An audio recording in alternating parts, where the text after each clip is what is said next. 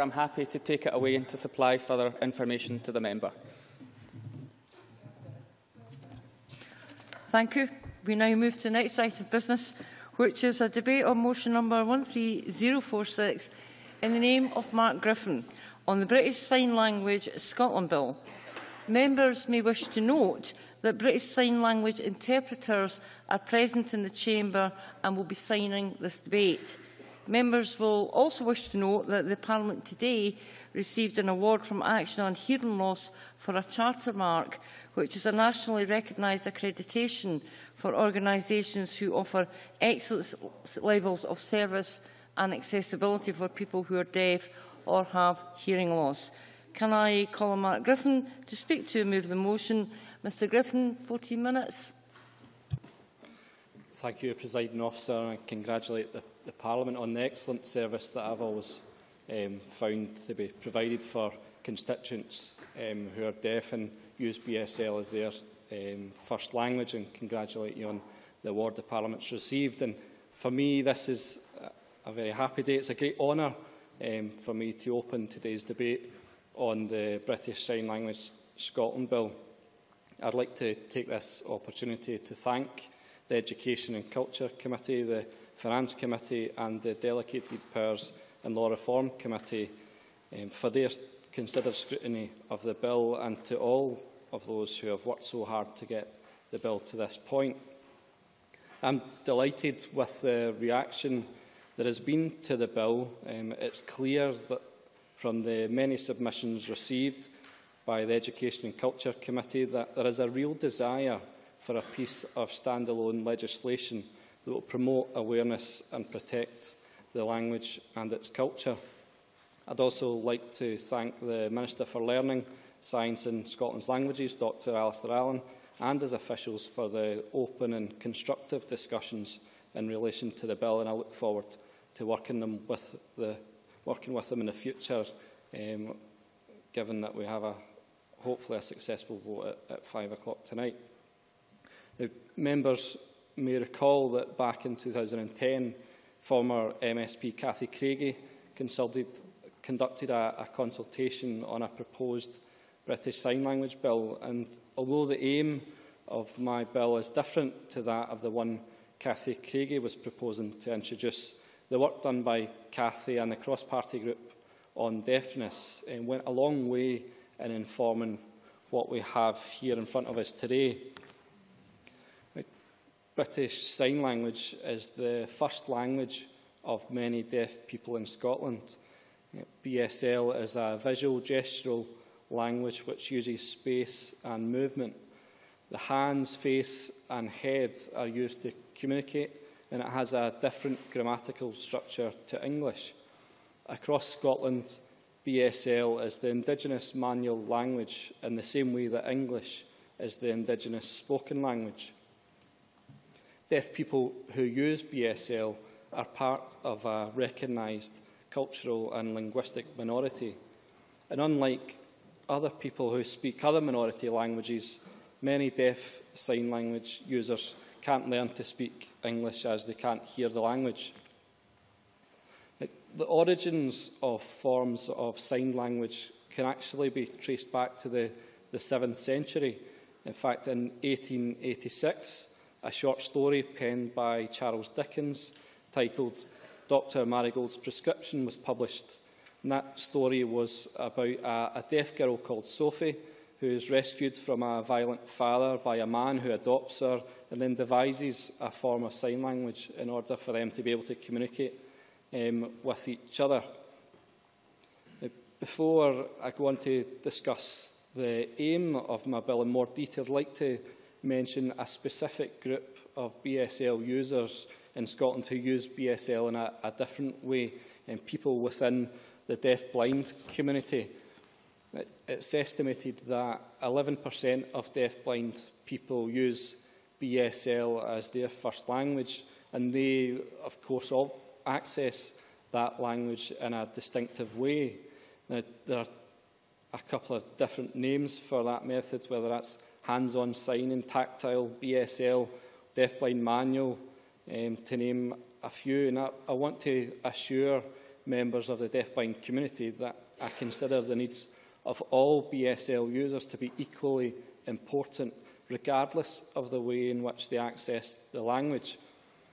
The Minister, at his last appearance before the Education and Culture Committee, stressed the point that the needs of the deafblind community would be taken into consideration in the implementation of the bill and that he was determined that the deafblind community would be represented on the advisory group which would be set up if the bill was passed.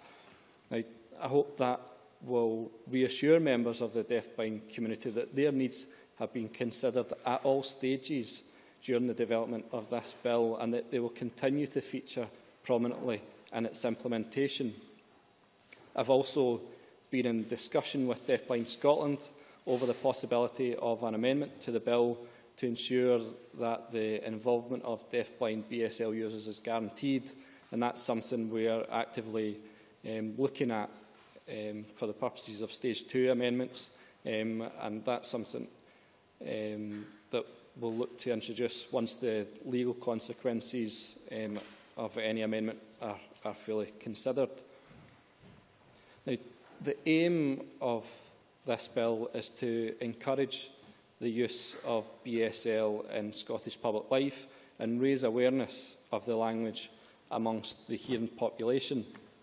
Now, this bill won't give BSL users any rights or impose service obligations on authorities and as such the bill isn't directly about the service needs of BSL users. Its focus is more about promoting the language and all the benefits that will flow from that. Now, unfortunately, to, to date, there still remains a lack of awareness and understanding of BSL amongst the hearing population.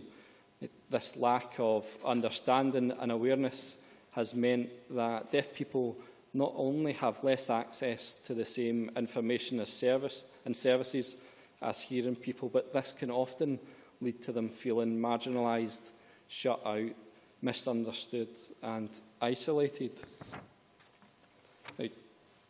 By the same token, society is also missing out on the contribution that deaf and deaf and deafblind people can make because they don't have the same access to education and the workplace as, as hearing people do.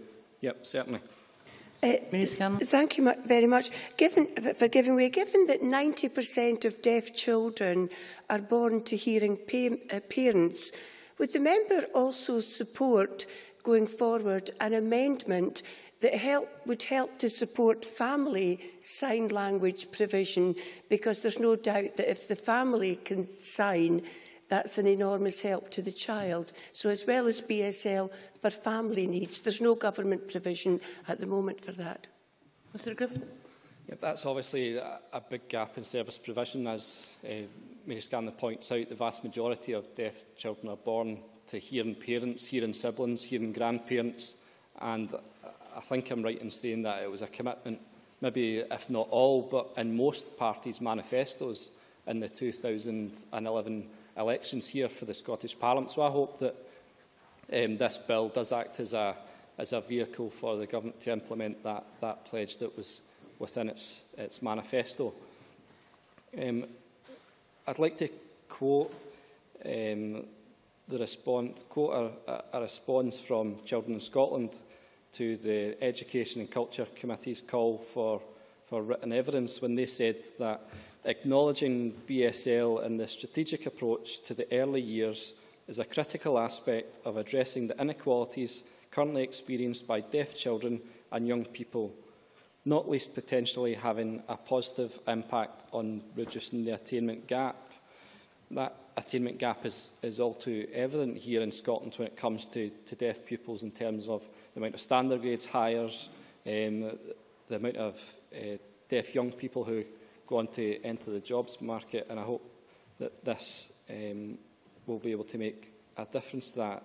Now, in my opinion, the Minister helpfully encapsulated the purpose of my bill when he said that the evidence session on the 17th of March Um, too often we talk about BSL users only as recipients of public services, As a country, we will benefit from their contribution if we protect, promote, support and value their language and culture. And to be honest, um, couldn't have put it better myself, Minister, and that's why I used that, that quote today. I hope, I haven't stolen your thunder in your speech.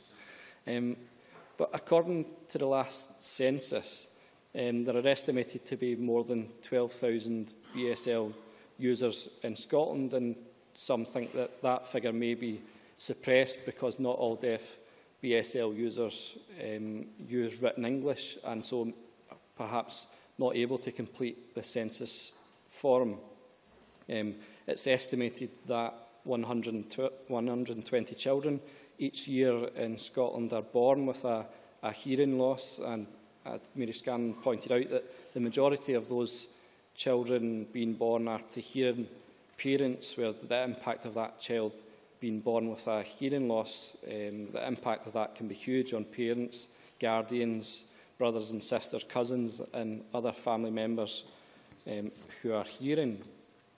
A, a scoping study carried out by Marion Grimes in 2009 on behalf of the Scottish Sensory Centre in conjunction with the National Deaf Children's Society reported that only 8% of teachers could sign, and that means the other 92% couldn't sign, then raising the, the issue of how deaf children in Scotland are actually accessing their education. We need legislation which will encourage edu education providers to think about how deaf children can be educated in the language and the culture to which they belong. And I hope that one of the outcomes of the bill will be a greater uptake of the language and greater educational attainment of deaf pupils so that they are able to participate more fully in daily life. I think as things stand, we're all missing out on what deaf and deafblind people have, have to offer. Now, wouldn't it be fantastic if a BSL user could access healthcare or housing advice, whether they could report a, a crime in the, the police station, whether they could get advice from their local authority, if they could access that in their own language, because the professional delivering that service was deaf or deafblind themselves. And that's why educational attainment is so critical. Uh, data from uh, the Deaf Achievement Scotland project shows that in 2010 the unemployment rate of young deaf people aged 16 to 24 was 49% compared to 19% for all young people. I think we all have to, to do better than that. Otherwise, um, we really are missing out. Turning to the Education and Culture Committee's consideration of my bill, as, as part of the scrutiny of the bill, the committee set out to ensure that as many BSL users as possible were able to contribute by setting up a, a Facebook page. The use of digital media as an engagement tool is of particular importance to the deaf community as it allows people to post comments in video and text format. And since the launch of that Facebook page back in December, I think well over 2,000, I think close to 2,500 people have joined and posted hundreds of comments, many in the form of, of BSL videos. And I'd like to thank the, the committee for their commitment to engage with members of the deaf community and giving them the means to be able to participate in a consultation process which is of so much importance to them. I'd also like to thank all of the people who responded to that consultation. The convener of the Education and Culture Committee himself acknowledged just how important the views of BSL users had been in enabling the committee to scrutinise the legislation. During the scrutiny um, of the bill, the committee were keen to pin down what exactly was meant by the term promotion of BSL, so I thought it would be helpful to try and clarify what it is I hope to achieve in relation to promotion of BSL. For me, promotion means approaching BSL as a language and not as a communication tool for the disabled. This means the language having a status equal to the Gaelic language and commanding the same kind of respect and appreciation of its long history and culture.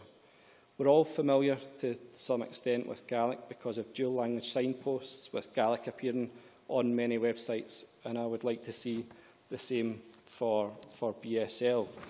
I, I welcome the government's support for the bill. Like I said, I've been having a constructive dialogue with the Minister and officials, and I look forward to seeing the detail of the amendments that the Minister had spoken about at committee. Presiding officer, I'd like to thank everyone again for their contributions and consensual approach. I look forward to the debate and hearing from members, to working with the committee, the Minister and his officials to further refine the bill should it be supported today. And I'm pleased to move that the Parliament agrees to the general principles of the British Sign Language Scotland Bill. Thank you.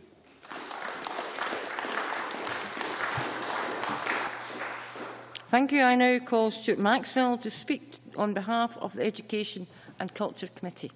Uh, thank you very much, uh, Presiding Officer. Um, before I begin, can I add my congratulations to the Parliament uh, on the receipt of the award it's just received, and also, before I start, to congratulate Mark Griffin for getting this far. It's a, I know what it's like trying to get a, a member's bill through the Parliament, uh, and, he, and he's done a great job in, in getting this far. I know it's a lot of hard work, so well done to Mark Griffin.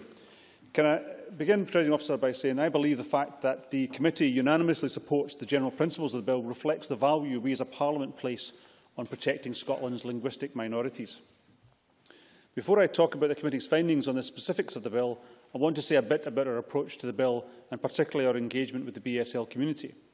Throughout our scrutiny of the bill, we sought to engage directly with BSL users and the wider deaf and deafblind community. We wanted to understand the challenges experienced by people whose first language is BSL, to discuss the importance and benefits of using BSL, and consider what impact the BSL bill might have on their lives. We visited Windsor Park School and Sensory Service in Falkirk, where we met deaf pupils who attended the secondary school. The pupils told us that BSL was, an important, was important in helping them communicate with their classmates and their friends, which helped them to feel included and involved. We also met members of the Sensory Services team based in the Forth Valley Sensory Centre and discussed some of the challenges around the provision of education for deaf pupils. Yep, certainly. Dennis Robertson. Thank you, Presiding Officer. Um, the member is aware that we have a signer today in the Parliament, and I'm just wondering if the member um, can perhaps slow down slightly in some of his address in order that the interpreter can keep up. Stewart Maxwell. Well, I, I am duly chastised by Dennis Robertson for my, the speed of my speaking. Um, the, ba the balance I'm trying to strike is getting through all of that I'm trying to say today, uh, and hopefully the, the signers can keep up. Um, in Edinburgh, we held an open meeting at Deaf Action, where we discussed the bill with adult BSL users. There was enthusiastic support for the bill, even although it is seen as a stepping stone in a long-term project to improve access to services for BSL users. To enable people to share their views in BSL, we set up a Facebook group. This provided an easy way for people to communicate by posting BSL video clips. The group has attracted over 2,300 members and been shown to be a good example of how public bodies can be inclusive and accessible for deaf people. Throughout our work, we published key documents in BSL and our evidence sessions were broadcast with live BSL interpretation. The views of the deaf community have been extremely valuable in helping us understand the context of the bill and we're grateful to everyone who submitted views and evidence to us. Now turning to the committee's findings. Firstly, I'm grateful to the Minister for his response to our report, which he has helpfully provided in time for this debate. While everyone who gave evidence to us agreed with the aim of the bill, to raise the profile of BSL, there were some different views about whether the bill was the best way to achieve it. Indeed, some public authorities told us they felt existing legislation was sufficient and indeed opposed the bill. Most cited the Equality Act 2010, which provides protection for people with certain characteristics, including a disability, as the appropriate mechanism for addressing the communication needs of deaf people. It was suggested BSL users were already protected under the Equality Act as employers and service providers have an obligation to anticipate the needs of employees and service users and to make reasonable adjustments for them. Now, we explored this viewpoint in detail during our open meeting at Deaf Action and in our discussions with witnesses. From those discussions, it became clear to us that the bill is about promoting BSL as a minority language.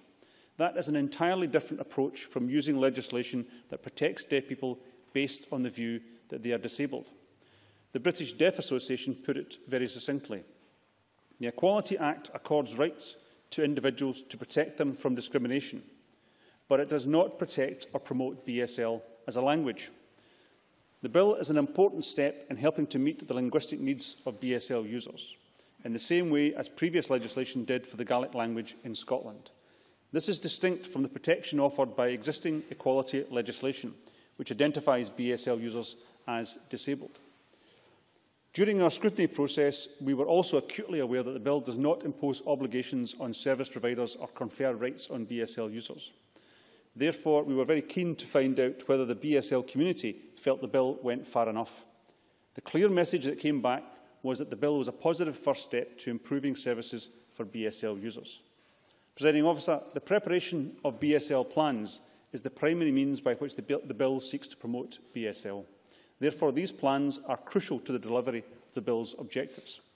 From the views we received, there was general agreement that the planning framework proposed in the bill with the Scottish Government's national plan sets out priorities that inform and guide the lower level authority plans is a sensible and strategic model. For the committee, the most important thing is whether the BSL plans deliver the improvements that the bill aims to achieve, to heighten the profile of BSL and increase its use in the delivery of services. Of course, the quality of the national plan will be crucial in this respect, as it will set the tone for the authorities' plans. Now, as I mentioned earlier, we received lots of views and comments about the bill via Facebook and during our informal discussions. BSL users told us about the challenges experienced by deaf people when accessing services and called for BSL plans to address the following key priorities. Firstly, the promotion of BSL in an education setting. Secondly, improving access to healthcare and social care for BSL users. Thirdly, improving employment opportunities for BSL users, providing early years support for deaf children and their families, enabling the inclusion of BSL users in cultural and leisure activities, and finally recognising the particular communication needs of deaf-blind people and ensuring their interests are taken into account. Now, if the bill is passed today, then the Scottish Government and public authorities must ensure their plans are meaningful and reflect the needs of the BSL community. Effective engagement and consultation with BSL users will be crucial to the development of meaningful plans, and we strongly agree with the view that the bill should require BSL plans to be made available in BSL. It is frankly inconceivable that plans would not be made available in BSL and I note the Scottish Government's view that the cost of translating BSL plans would now be classed as an additional cost of the bill, rather than being subsumed under the existing equality duties, as had been previously suggested. We also welcome the Scottish Government's proposal to establish an advisory group that will provide advice to Scottish ministers. As the national plan will set the framework for action on BSL, the advisory group will have a key responsibility in ensuring the bill is implemented and it, and it meets the needs of BSL users. It will be important to ensure that membership of the advisory group reflects the interests of the BSL community and support the Minister's commitment to ensure that BSL users, including deaf-blind BSL users, are represented on the group. Their expertise and their knowledge will be vital in ensuring the advisory group provides effective advice and guidance to ministers. In addition, we have suggested in our report that the group's expertise could be of assistance to a wide range of public bodies, not just the Scottish Government, and we would be keen for it to act as a resource available to all listed authorities under the bill. Uh, we very much welcome the suggestion from the Minister that this will indeed be the case and that the advisory group will provide guidance on the style and the content of authority plans. The committee supports the proposal to extend the scope of the national plan to include public authorities with a national function, which are accountable to the Scottish ministers. We recognise this will lead to fewer plans being produced and reduced bureaucracy. In our report, we cautioned that incorporating the plans into a single national plan must not dilute public authorities' accountability for delivering the actions included in the plan.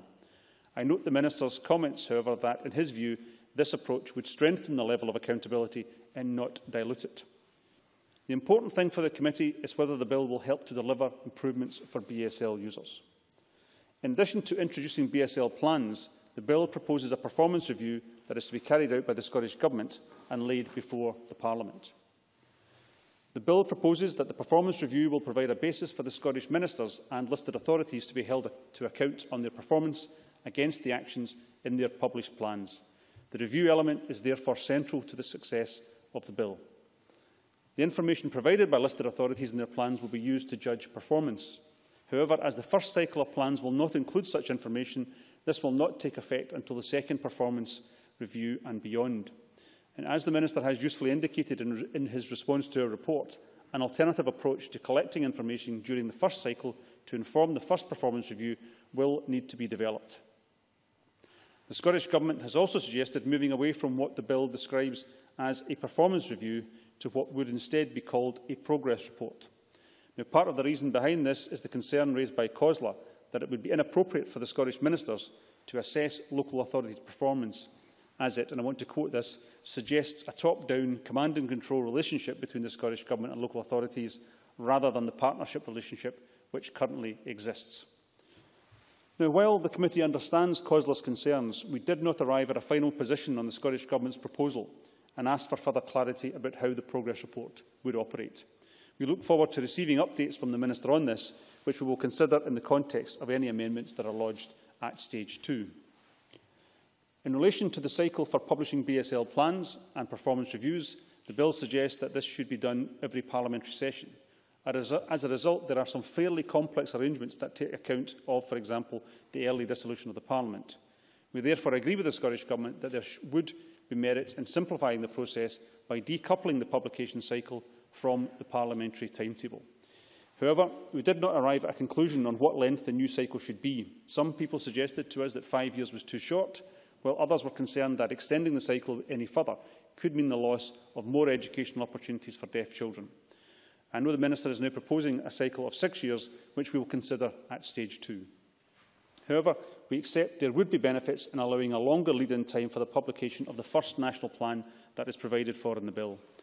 An extended timetable would allow for the BSL National Advisory Group to be established, and I think it's likely that the committee would support such an amendment to the bill. We recognise, along with the Government, that the bill could give rise to further cost implications, such as in relation to implementing the plans. While there, while there are likely to be additional costs, in my view, that is not a reason to oppose legislation that seeks to support the communication needs of the BSL community. I know the Minister has expressed a similar opinion. There is one other issue included in our report that I want to briefly mention. The bill includes provision for a Minister to be appointed with special responsibility for BSL. We, however, are content with the Scottish Government's suggestion of removing this requirement from the bill on the basis of Ministers' collective responsibility, on the understanding that BSL sits within a ministerial portfolio. In conclusion, Presiding Officer, the committee supports the general principles of the bill and recommends the Parliament agrees to them. It is clear further work is going on behind the scenes to give effect to some of the proposed changes that Mark Griffin and I have highlighted and any the Minister may mention in his contribution. The committee welcomes the fact that the Scottish Government and indeed the member in charge have shown willingness to work together to develop this bill and we look forward to considering any amendments that are brought forward at stage two. Thank you, Convener. And I now call on Dr Alasdair Allan. Minister, 10 minutes, please. Thank you, Presiding Officer. And as others have done, uh, I would like to start by congratulating Mark Griffin for proposing this bill and for the uh, very positive approach he has taken to its development. And I would also like to place on record uh, my own thanks to Cathy Craigie for her early work, which helped to bring this bill to fruition. Presiding officer, um, it is important to acknowledge that the bill has huge support from MSPs from across the political parties and I believe from the BSL community who responded to the consultation and to the Education and Culture Committee's call for evidence in vast numbers. I'd like to take the opportunity to pay tribute to the committee for the way it has engaged with the BSL community as part of its scrutiny of the bill. This has included setting up a BSL Bill Facebook group, which I believe has more than 2,000 members, and accepting BSL clips submitted via the Facebook page as evidence. This has ensured that the process for stage one of the bill has been both accessible and engaging to uh, the citizens of their country who use BSL. The Scottish Parliament has been applauded, as we've heard, uh, for the approach it has taken, and rightly so, and I would like to add my congratulations and thanks to the committee convener, Stewart Maxwell, Deputy Convener Siobhan McMahon, and all the members for their detailed and careful consideration of this bill. As members will be aware, the Scottish Government fully supports the BSL Scotland Bill, and we've suggested some changes which we think will improve it and which I think broadly uh, Mark Griffin has accepted. And I'll describe the main changes in just a minute. But first, I think it is important for me to say clearly that the Scottish Government recognises the cultural aspect of deafness and recognises British Sign Language as a language. We formalised this in a statement of recognition in 2011.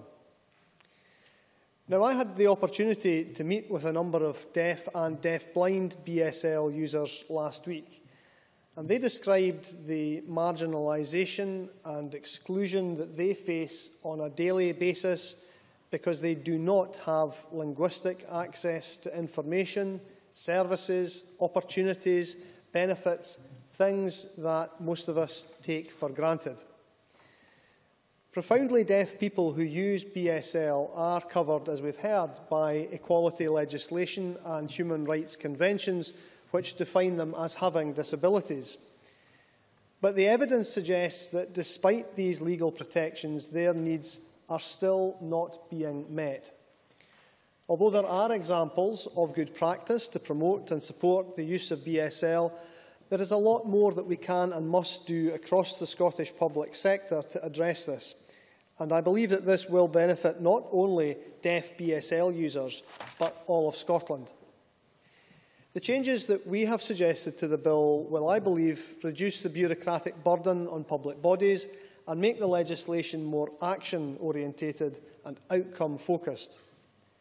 The most significant change we propose is that rather than all public bodies producing their own separate BSL plans, the national plan should cover all public bodies with a national remit who are directly accountable to Scottish ministers.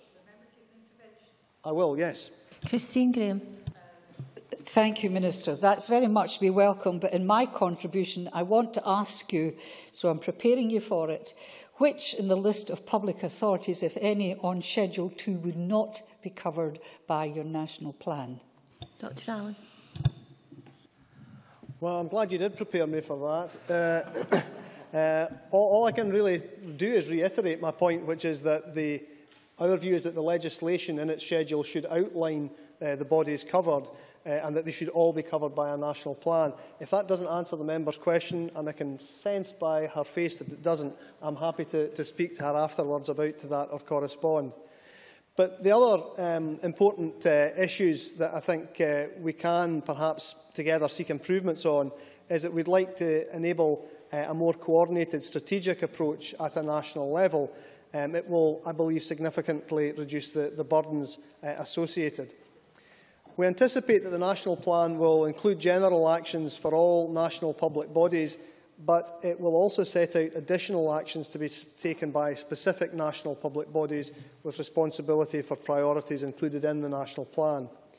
I've said in the government memorandum and in evidence to the committee that we intend to establish a BSL national advisory group which will have a crucial role in advising uh, Scottish ministers on the content of the plan. And importantly, the group will include a significant proportion of deaf BSL users, including deaf-blind BSL users and families of deaf children who use BSL. Effective engagement, when done properly, also plays a key role in ensuring that public bodies are accountable to the communities they serve. This is important for all public bodies, but particularly for local authorities who are not directly accountable to Scottish ministers. And so, like the committee, we agree that engagement with the BSL community will help to ensure that the bill delivers real improvements. Indeed, we feel that this will be a more appropriate and effective approach to supporting ongoing improvement than merely naming and shaming individual public bodies. We do agree that it will be important to review activity against plans on a regular basis through a progress, progress report informed by the National Advisory Group. We propose that this information should be collected through uh, a self-assessment exercise uh, and uh, uh, with feedback from BSL users. And on the subject of authority plans, members may be aware that the Scottish Government has previously suggested uh, that listed authorities should be required to publish BSL statements rather than plans, as we felt that these would be more streamlined and focused. However, on reflection, we do accept the committee's view that in reality there is no legal difference between a statement and a plan, and we will instead focus uh, our efforts on using guidance to encourage listed authorities to ensure that their plans uh, are concise and action-orientated. Presiding officer, I firmly believe that engaging effectively with the BSL community in the months and years ahead will be crucial to help ensure that across the public sector we focus on making the changes which will have a positive and lasting impact on the lives of the BSL community in Scotland. We have recently announced funding of £390,000 from the Equality Fund uh, to five deaf organisations to help make this happen. The organisations are British Deaf Association, Scottish Council on Deafness, uh, Deaf Action, Deaf Connections and Deaf Blind Scotland. So can I take this opportunity to thank these organisations for what I am sure will be an invaluable role in the successful early implementation of the bill. In closing, it is my view that if we promote, protect, support and value British Sign Language and deaf culture, we will all benefit from the greater contribution which our deaf citizens can and want to make to our communities, our country and our economy. So, presiding officer, I look forward to what I hope will be a positive debate today about the benefits of supporting British Sign Language and the benefits of Mark Griffin's bill. Many thanks, Minister. I now call on Siobhan McMahon. Ms McMahon, six minutes, please. Thank you, President Officer. It gives me great pleasure to open this debate for Scottish Labour this afternoon and to pledge your support to Mark Griffin's BSL bill, particularly during Deaf Awareness Week, a week that we're now celebrating. I would at the outset like to thank Mark for proposing this extremely significant bill and congratulate him in not only bringing it to the Chamber today, but also for the way in which he has conducted himself throughout the, the bill's progress. I know that this hasn't been the easiest of journeys, but I'm sure it will be a worthwhile one. As a member of the Education and Cultural Committee, I have heard first-hand evidence as to why we require this bill and what impact it is likely to have on people's lives if it fulfils its potential. The policy intention of the bill is quite clear, that the profile of language will be heightened and its, and its use in the delivery of services increased. However, for many people, especially public bodies, they may see this bill as an equality issue based on disability. Many times during evidence, both verbal and written, witnesses referred to the Equality Act as a means of dismissing the proposed BSL bill. Some people believe that the Equality Act should be sufficient to deal with the provision of BSL. However, as Deaf Action said, many people are confused about what is covered under the Equality Act I do not consider deaf people to be disabled or covered by that Act. This bill is necessary as it's about a language and it's difficult to fit linguistic issues into legislation designed for disability. Many deaf people do not see themselves as disabled and it would be wrong for public bodies to implement decisions which in effect do not recognise this. As the Scottish Association of Sign Language Interpreters stated, BSL is a language, a culture and an identity. This point was further highlighted by the British Deaf Association Scotland, who told the committee that speakers of other Indigenous spoken languages are not required to self-identify as disabled to access their, language rights. It is only right then that we treat deaf people as we would any other person wishing to put their language rights into law. Given that there are an estimated between 6,000 and 10,000 BSL users in Scotland, and that 120 children each year are born with a severe or profound hearing loss, we have to start changing the way we think about deaf people in our society. It is not acceptable that there are only 80 interpreters for the deaf community in Scotland. That's one in 100 for every deaf person, whereas in Finland, a country already with a recognised Sign Language Act, the figure is one in six. It's horrifying to learn that hearing parents are finding it difficult to communicate with their deaf children because the parents cannot get access to BSL classes. Given that 90% of deaf children are born to hearing parents, this is a significant amount of people across Scotland. This bill could make sure that those parents would get the right help when they require it and that the barriers that are currently in place would be removed.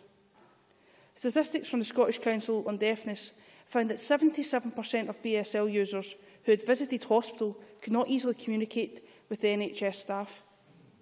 This is a deeply concerning figure, given that we all want our health service to serve everyone in our society. It cannot be acceptable to find such a high number of people being unable to communicate with their health professionals at such a worrying time in their lives. This bill could change this statistic for the better if the policy intentions are delivered. Another topic that the Educational Committee and the Scottish Government have been focusing on at the moment is the attainment gap. During evidence to the committee regarding the BSL bill, we found that the attainment gap for deaf learners was extremely worrying. Scottish Government figures for 2011-12 show that 36.4% of deaf pupils attained Highers or advanced Highers, compared to 60.2% of hearing pupils. Scottish Government data also shows that only 26% of deaf school leavers are likely to go on to higher education, compared to 39% of hearing school leavers. And as Mark Griffin said earlier, the Grimes report in 2009 indicated that only 8% of teachers of the deaf can sign. This is of major concern to many and it's not something that can be addressed by this bill directly. Although being able to have access to communication from teachers and other educational professionals may be of some help to many. It is something that must be addressed to the Scottish Government's current education bill and I look forward to further discussion on this in the coming weeks and months. Mark Griffin has previously spoken of the current postcode service provision that currently exists for BSL users. In addition to this, Deaf Services Lanarkshire are very critical about current standards of care in their area. In their words, the provision to the deaf community is dismal. This bill would change that, not only for the people of Lanarkshire, but for people throughout Scotland. I would echo the views of the committee when I say the performance review is critical to the success of this bill.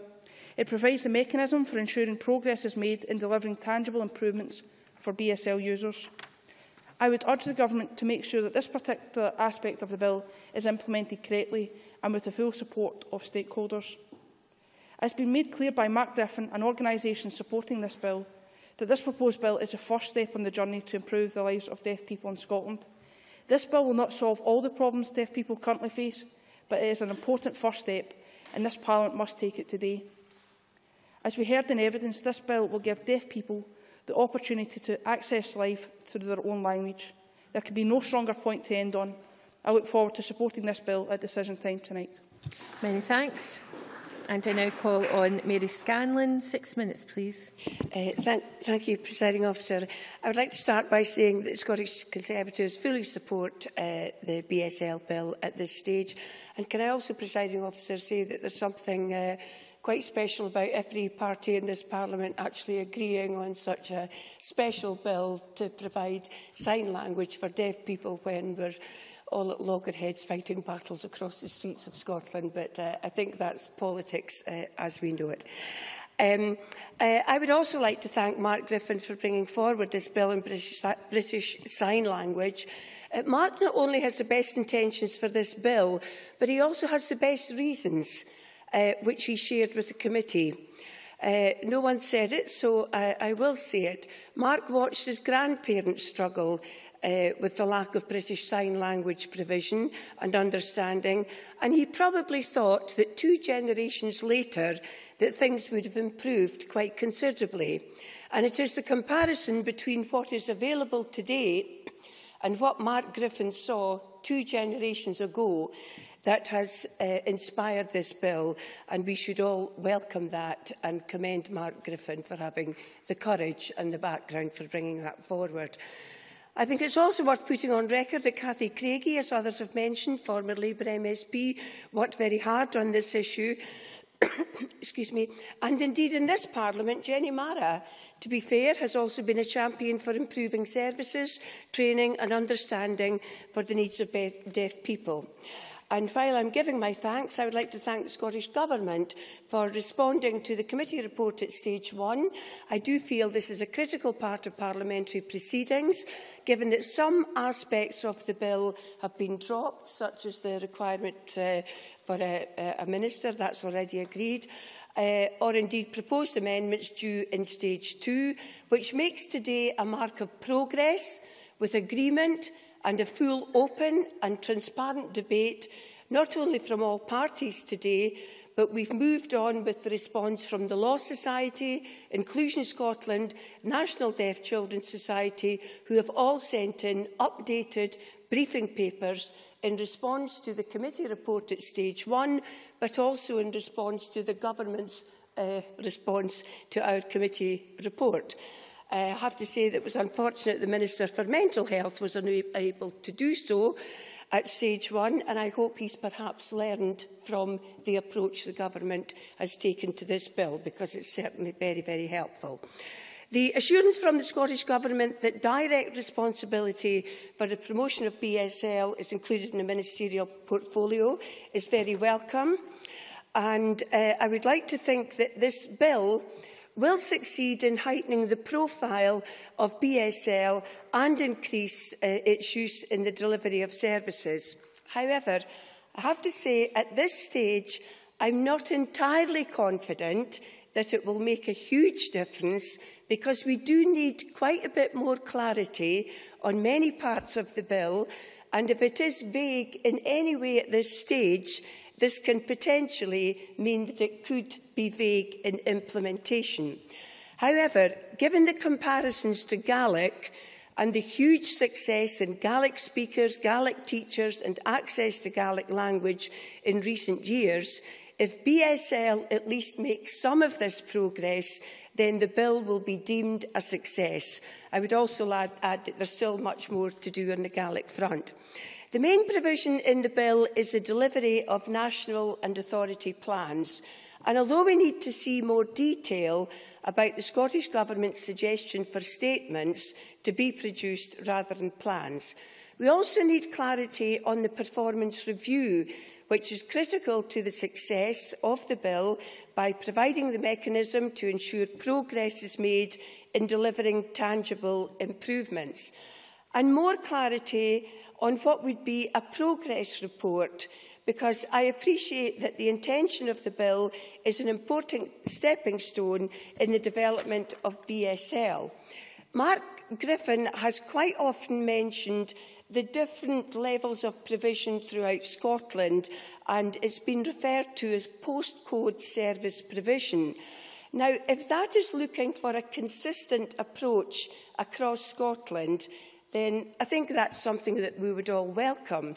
And then Inclusion Scotland asked for an honest appraisal of where the gaps in provision exist and how these will be addressed during the period of the plan.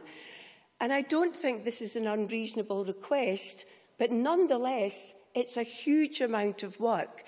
So whether it's a plan, a statement or a progress report, if we're looking for a consistent level of service, uh, then that, that, that is quite a considerable commitment.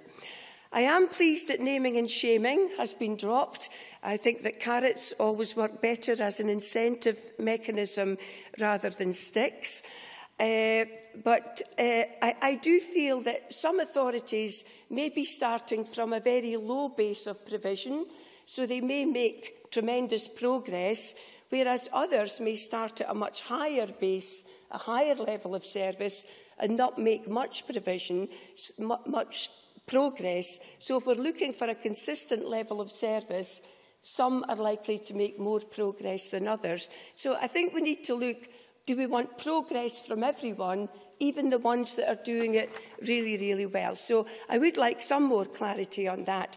And as I'm summing up, I'll raise the other issues I have then. Thank you. Many thanks. We now turn to the open debate.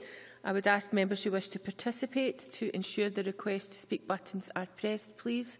And it will be speeches of six minutes. Dennis Robertson, to be followed by Margaret McCulloch. Thank you very much, Presiding Officer. Can I first of all thank Mark Griffin for uh, continuing to bring this bill before Parliament. As someone who recently brought forward a member's bill uh, to Parliament, I understand the workload that is involved and indeed um, he has my sympathy to some extent. But this is an important bill, presiding officer.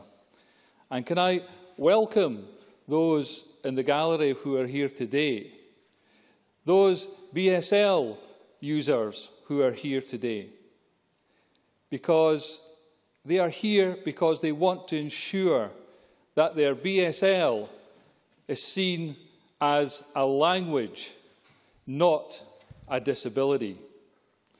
Presiding officer, it is important that we have that distinction.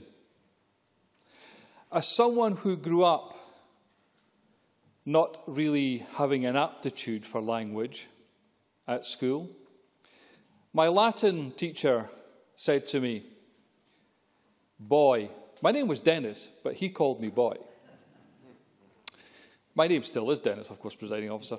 Um, but he said, You haven't got a grasp of grammar. You will therefore never get an acquirement of Latin. And as a Doric loon from Aberdeen, I always thought my grammar was married to my grandfather. That was the problem I had with my aptitude of language. But, presiding officer, I know very little in the way of French. I know very little in the way of Spanish. I know very little BSL. And why is that? It's because quite often we assume that others will speak our language, our language of English. BSL users are not wanting to speak to one another or only be able to speak to one another. They want to be understood when they go into a public service or any other service, presiding officer. They want to be understood in order that they can acquire the same rights as anyone else, the same respect as anyone else, because it is a language and not a disability. It has been said and we, that society is finding it difficult to find the difference between this language and disability.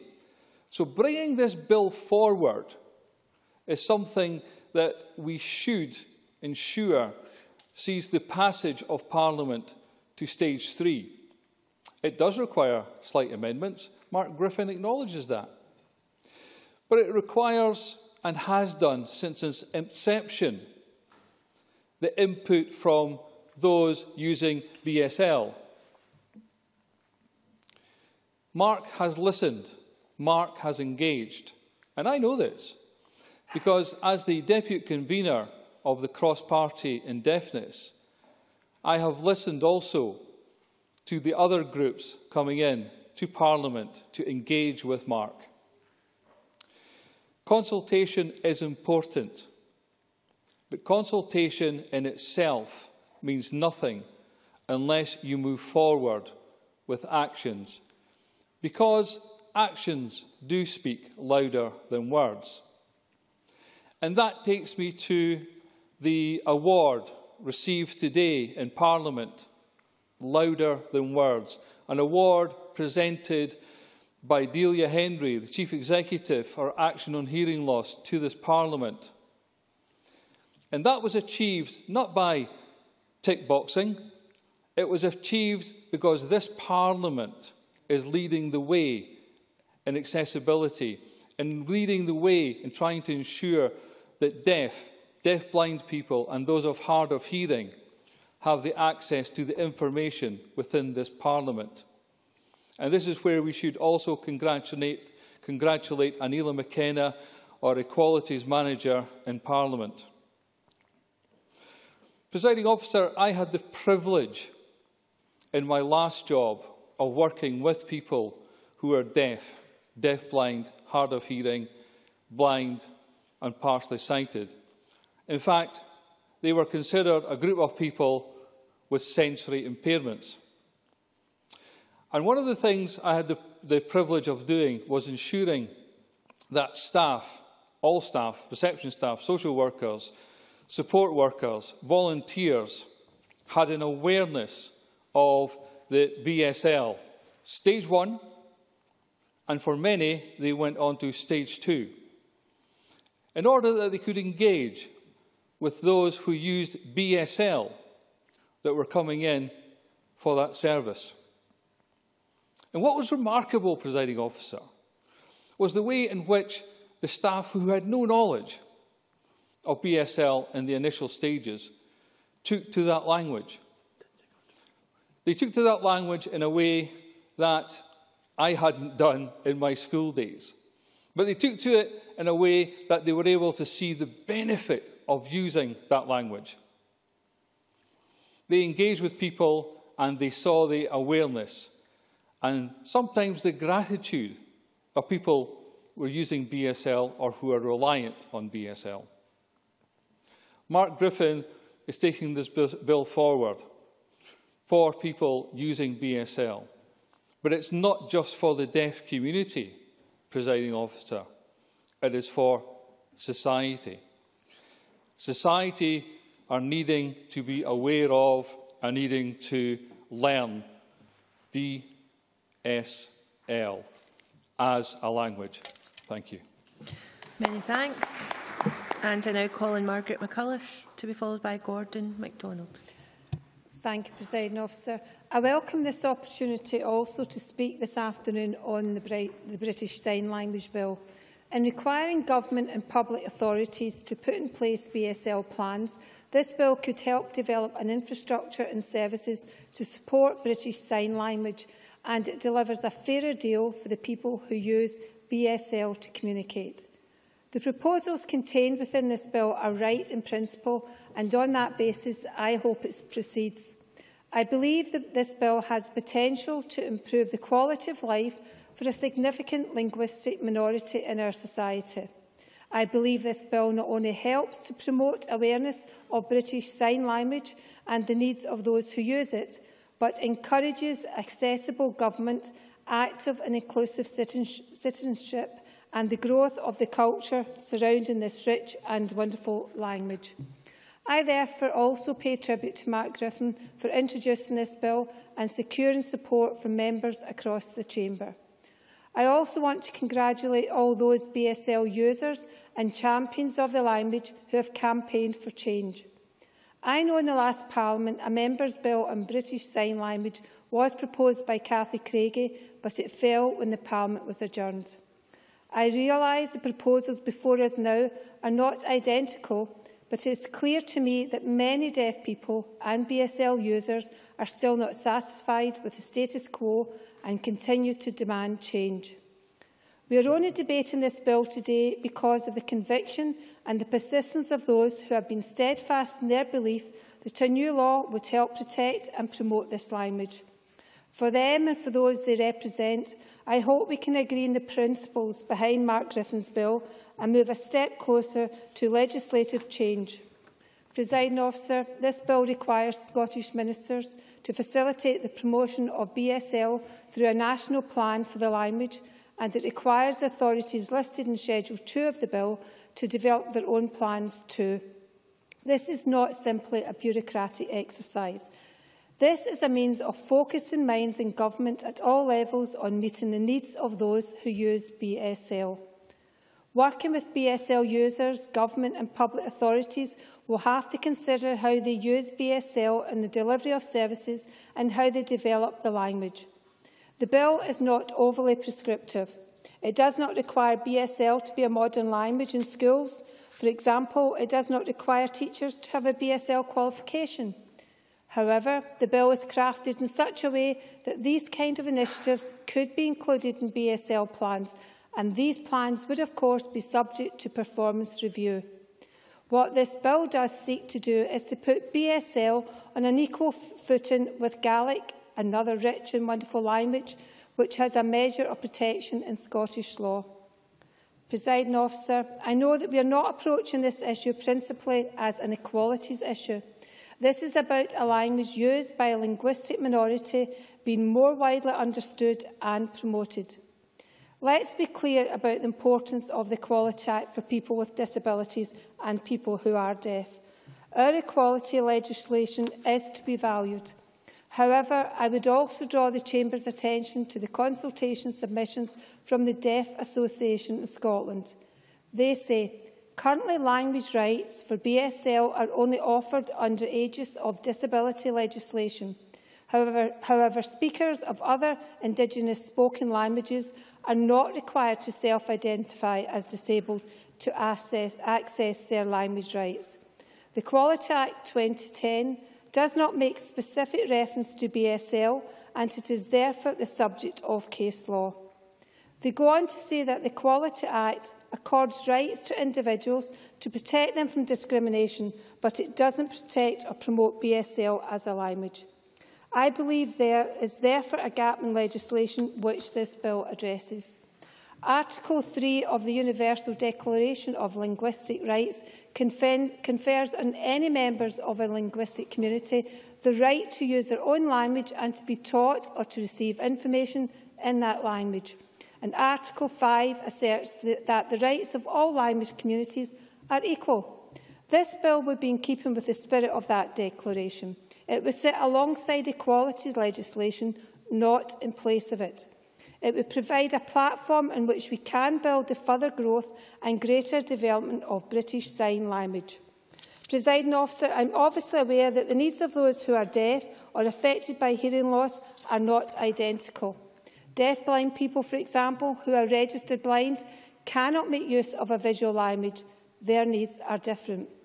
They would typically use a tactile British Sign language, language or deaf-blind manual variations on BSL. Meeting these needs can be more resource intensive because it requires one-to-one -one communication. In the past, where improvements for BSL users have been achieved, these have not necessarily benefit, benefited deaf-blind people in full. However, I think it is important to note that Deafblind Scotland supports the BSL bill. They recognise that this bill will improve the experiences of deaf people. I also believe there is scope within the bill I'm actually really tight for time, thank you. I also believe there is scope within the bill to address the needs of deaf-blind people too. I see from evidence received by the Education Committee that some respondents to their call for evidence were concerned that a focus on British Sign Language could detract from other methods of communication used by deaf people and those who have experienced hearing loss. For example, Deaf Action have highlighted the use of lip speaking and the need to continue to train and recruit, recruit skilled note takers. However, Deaf Action are also supportive, supportive of this bill, as are most, most organisations which advocate for deaf people. None of the concerns that have been expressed strike me as a barrier to this bill progressing. Indeed, I can see from the Education and Culture Committee's report that the member and the government have been commended for their collaborative approach to this bill. Continuing in that spirit, I am sure that Mark Griffin will be able to deliver a bill which carries broad support within the Chamber and outside too. Finally, presiding officer, the Scottish Council on Deafness described this bill as a, promote, as a promoting and enabling catalyst. I agree with them. This bill can help us secure broader recognition of BSL and it can substantially improve the lives of people who use this wonderful language. Let us allow this bill to progress and give BSL the status and the support it deserves. Thank you. Thank you. And I call Gordon MacDonald to be followed by Liam McArthur. Thank you, Presiding Officer. I welcome the opportunity to speak on the British Sign, Language Bill and as a member of the Education and Culture Committee I've had the opportunity to consider the proposals contained in this bill and can I congratulate Mark Griffin on the progress of the bill to date and I also thank uh, Deaf Action for arranging a visit to their offices in Edinburgh to meet members of the deaf community. I found that very helpful in understanding everyday issues facing BSL users. Presiding officer, there are estimated to be around 6,500 people who depend on sign language and around 850,000 people with some form of hearing loss in Scotland. With this in mind, it's important to note, and as the Minister has already stated, that the Scottish Government recognised deafness as a culture and formally recognised BSL as a language back in 2011. However, four years later, deaf people are still facing problems in their daily life that most people take for granted. Many deaf people who contributed evidence via the Facebook page highlighted the barriers that had stopped them from accessing basic services as a result of sign language not being widely used, whether it was in education, health, banking, policing or a whole range of other services, many felt that the lack of BSL interpreters or people who could sign had limited their access to those basic services and left them feeling isolated. They all expressed a hope that the bill would resolve some of these issues by raising awareness of the needs of deaf people. The policy memorandum to the bill highlights that it aims to promote the use and understanding of British Sign Language, principally by means of BSL plans, which are to be published by Scottish ministers and specified public authorities. However, the SPICe briefing outlined that the bill does not confer on BSL users any rights or impose service obligations on authorities. As such, the bill is not directed about the needs of BSL users, nor is it about the needs of a wider group of people with hearing impairments. As I said earlier, the Scottish Government recognised BS BSL as a language four years ago, and through its work with the BSL and Linguistic Access Working Group, published a detailed report back in 2009, The Long and Winding Road, a roadmap to British Sign Language and Lingu Linguistic Access in Scotland. It's already taken steps to promote and support BSL through a number of activities, including funding to support the teaching and learning of BSL, encouraging schools to offer BSL as a subject alongside other modern languages, and provided funding to develop a pilot online interpreting project for BSL users wishing to access public services by phone. Yeah, sure. Dennis Robertson. I'm sorry, Mr Robertson, can I stop you a moment? We don't have your microphone. We do now. Thank you. Mr Robertson's microphone, please. Uh, thank you for taking the brief intervention. The member agree with me that, as well as schools, uh, we should be encouraging maybe youth groups like Scouts, Guides uh, and other such groups to maybe perhaps learn uh, to take BSL as a subject in order that they can communicate with people using BSL. Gordon MacDonald. Yeah, absolutely agree. And as um, my son is a scout leader with the Blind Scout Group in, in Edinburgh, I fully support anything that widens access to supporting people dis with disabilities of some description. Um, through these activities, the Scottish Government has increased the profile of BSL, increased the number of interpreters and of deaf tutors able to teach BSL at a higher level and developed a better understanding of the language. However, despite all of this, BSL users are still facing difficulties in accessing public services today. The difference that this bill could make is that it will encourage and enable the Scottish Government, key public authorities and the deaf community to promote and support BSL, agree national priorities and set out the specific measurable actions they will take to make progress towards these priorities. Given that there are 117 public bodies across Scotland that would be required to produce a BSL plan, then it would be sensible if authorities working in the same geographic area, area could explore the opportunities for joint working and to reflect these in their initial set of actions. This would reduce the burden on cost on public authorities and create the possibility for more shared expertise and resources. The financial issue is especially important in the current economic climate and in light of the estimates for producing the initial plans for all public authorities is in the region of 2.4 to 3.6 million. What we don't want to happen is that money currently spent providing services to the BSL community and people with hearing difficulties being redirected to produce a plan. These plans will only be meaningful if there is an effective review of the implementation of the plans with resultant action points. Presiding officer, Uh, I support the aims of this bill to promote BSL, but we have to recognise there are many countries across the world from Norway to New Zealand and Greece to Venezuela, who have already formalised recognition of their Indigenous sign language within their legal structures. On that note, I'll leave the last word to Deaf Action Scotland, who in their written evidence concluded, we believe that the BSL bill will have a positive impact because it will allow us to move a step closer to BSL language being more widely endorsed within society. Although the bill is primarily concerned with the promotion of BSL and doesn't impose obligations on service providers or confer rights on BSL users, it does place a duty on 117 public authorities to prepare a BSL authority plan that set out the measures to be undertaken by each authority in relation to the use of BSL and to establish timescales on their achievement. It may not be the bill that we could have hoped and campaigned for. Neither, nevertheless, it represents progress and this has to be welcomed. Thank you. I now call Liam McArthur to be followed by Stewart Stevenson.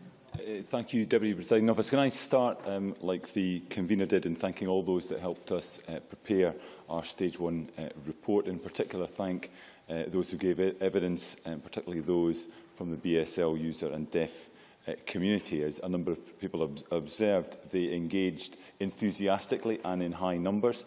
I can't recall uh, an occasion where meetings of the Education Committee were almost standing room only, uh, but that was achieved at various points during our consideration of the evidence. Can I thank, like Gordon MacDonald, those who hosted our visits, notably the Golden Amber Club, um, Deaf Actions uh, uh Golden Amber Club, and the staff and pupils at Windsor Park School. Those visits were invaluable in terms of giving us uh, all an insight into the issues underpinning this bill. And uh, finally, can I congratulate uh, Mark Griffin on his work uh, his work with the BSL community in delivering uh, their aspirations, but also his work with the committee and with the minister and his officials uh, in ensuring that that change is in fact uh, achieved. I confess that I went into this process uh, I think, fixated with the issues around access, some of the issues Siobhan McMahon related in, in terms of um, the uh, attainment levels in education, uh, some of the barriers to, to employment.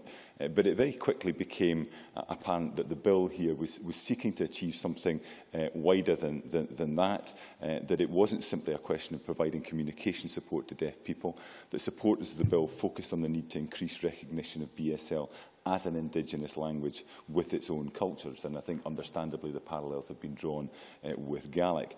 Uh, and I think it's right the committee in, it, in its report uh, has said that, like Gaelic speakers, deaf people have their culture and identity and should be able to access information and services in their first language. And that's not uh, in any way exclusive, it's very inclusive, in fact. I think that um, some examples have been uh, given in relation to, to parents of, of, of deaf children.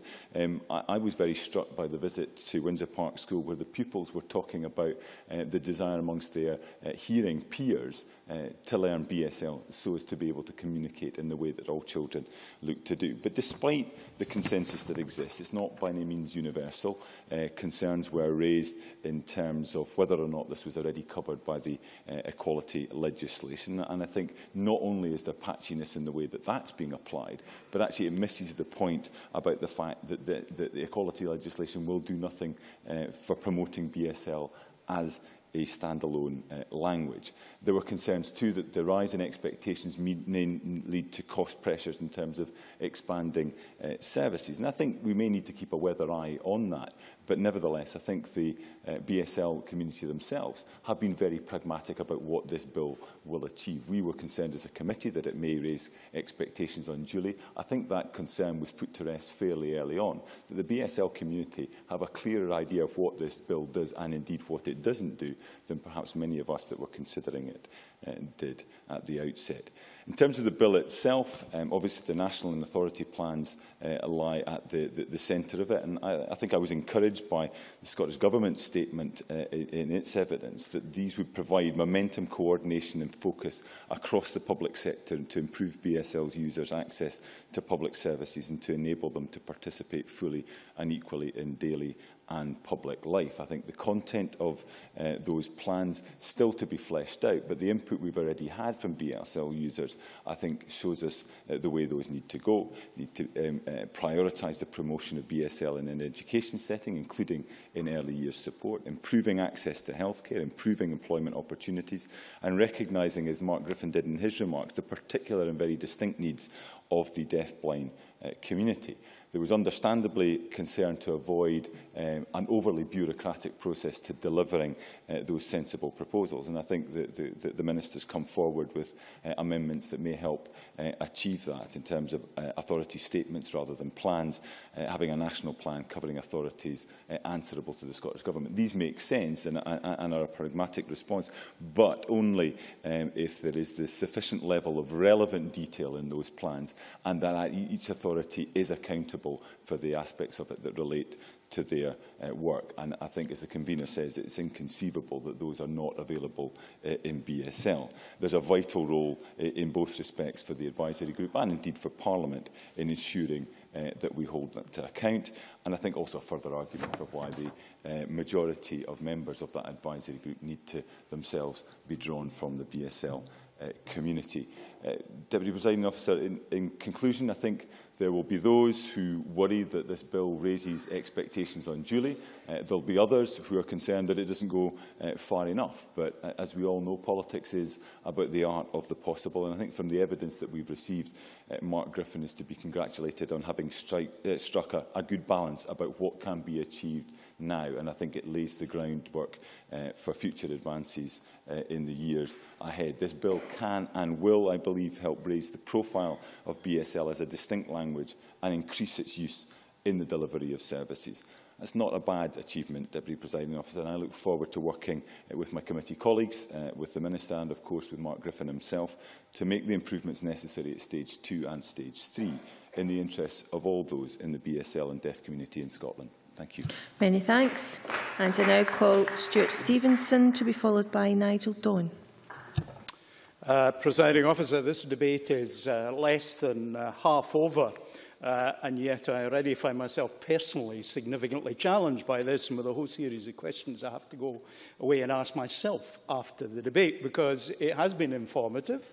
Um, I, I, th I think there's some doubt in some things. Siobhan McMahon said there's uh, 100 BSL speakers for each of the 80 interpreters. It might actually be even worse than that because the 2011 census, according to SPICE, tells us there's 12,533 households where someone speaks BSL, which would make it uh, one interpreter for every 150 houses where BSL is spoken. So whichever number it is, whatever number is relevant, it's clearly a challenging and important uh, issue uh, that we find ourselves uh, properly uh, debating today. Now, of course, using visual communication is not something which, for any of us, is alien. A shrug of the shoulders is immediately recognised as doubt. Um, the fingers like that is money, and this is do you want a drink? So we all have our little bits of personal sign language, but of course BSL is quite different because what it is is a standardised approach that reaches beyond local variation and culture. But of course, uh, it's equally a language uh, uh, which, uh, when people are speaking to each other in a social setting, has slang and has rude words, genuinely is as rich uh, as any other language.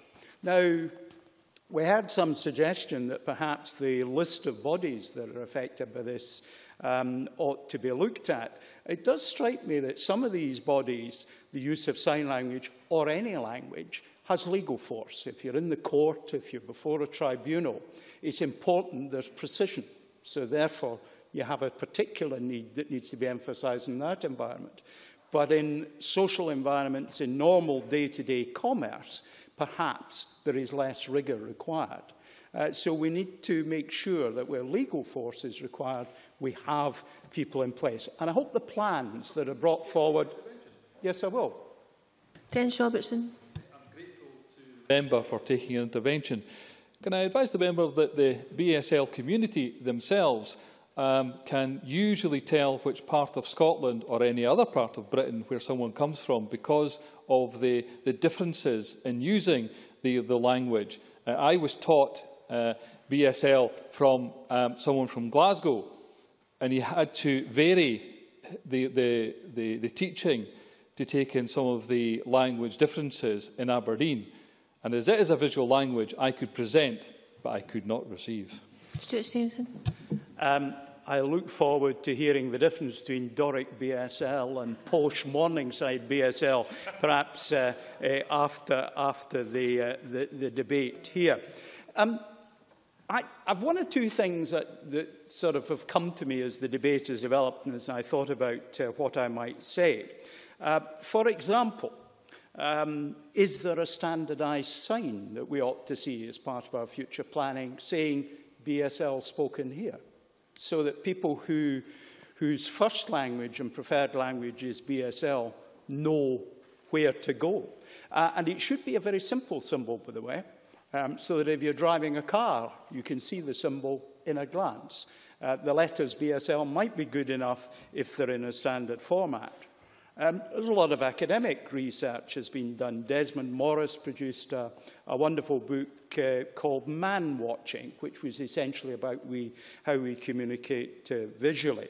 Uh, and I commend that, uh, commend that to others. I, in my journeys to Parliament here, regularly see uh, sign languages. And indeed, I've been watching uh, BSL conversations in the public gallery, which have not attracted the ire of the presiding officer because they're not intruding as uh, an oral conversation might do um, into the, the, the performance here.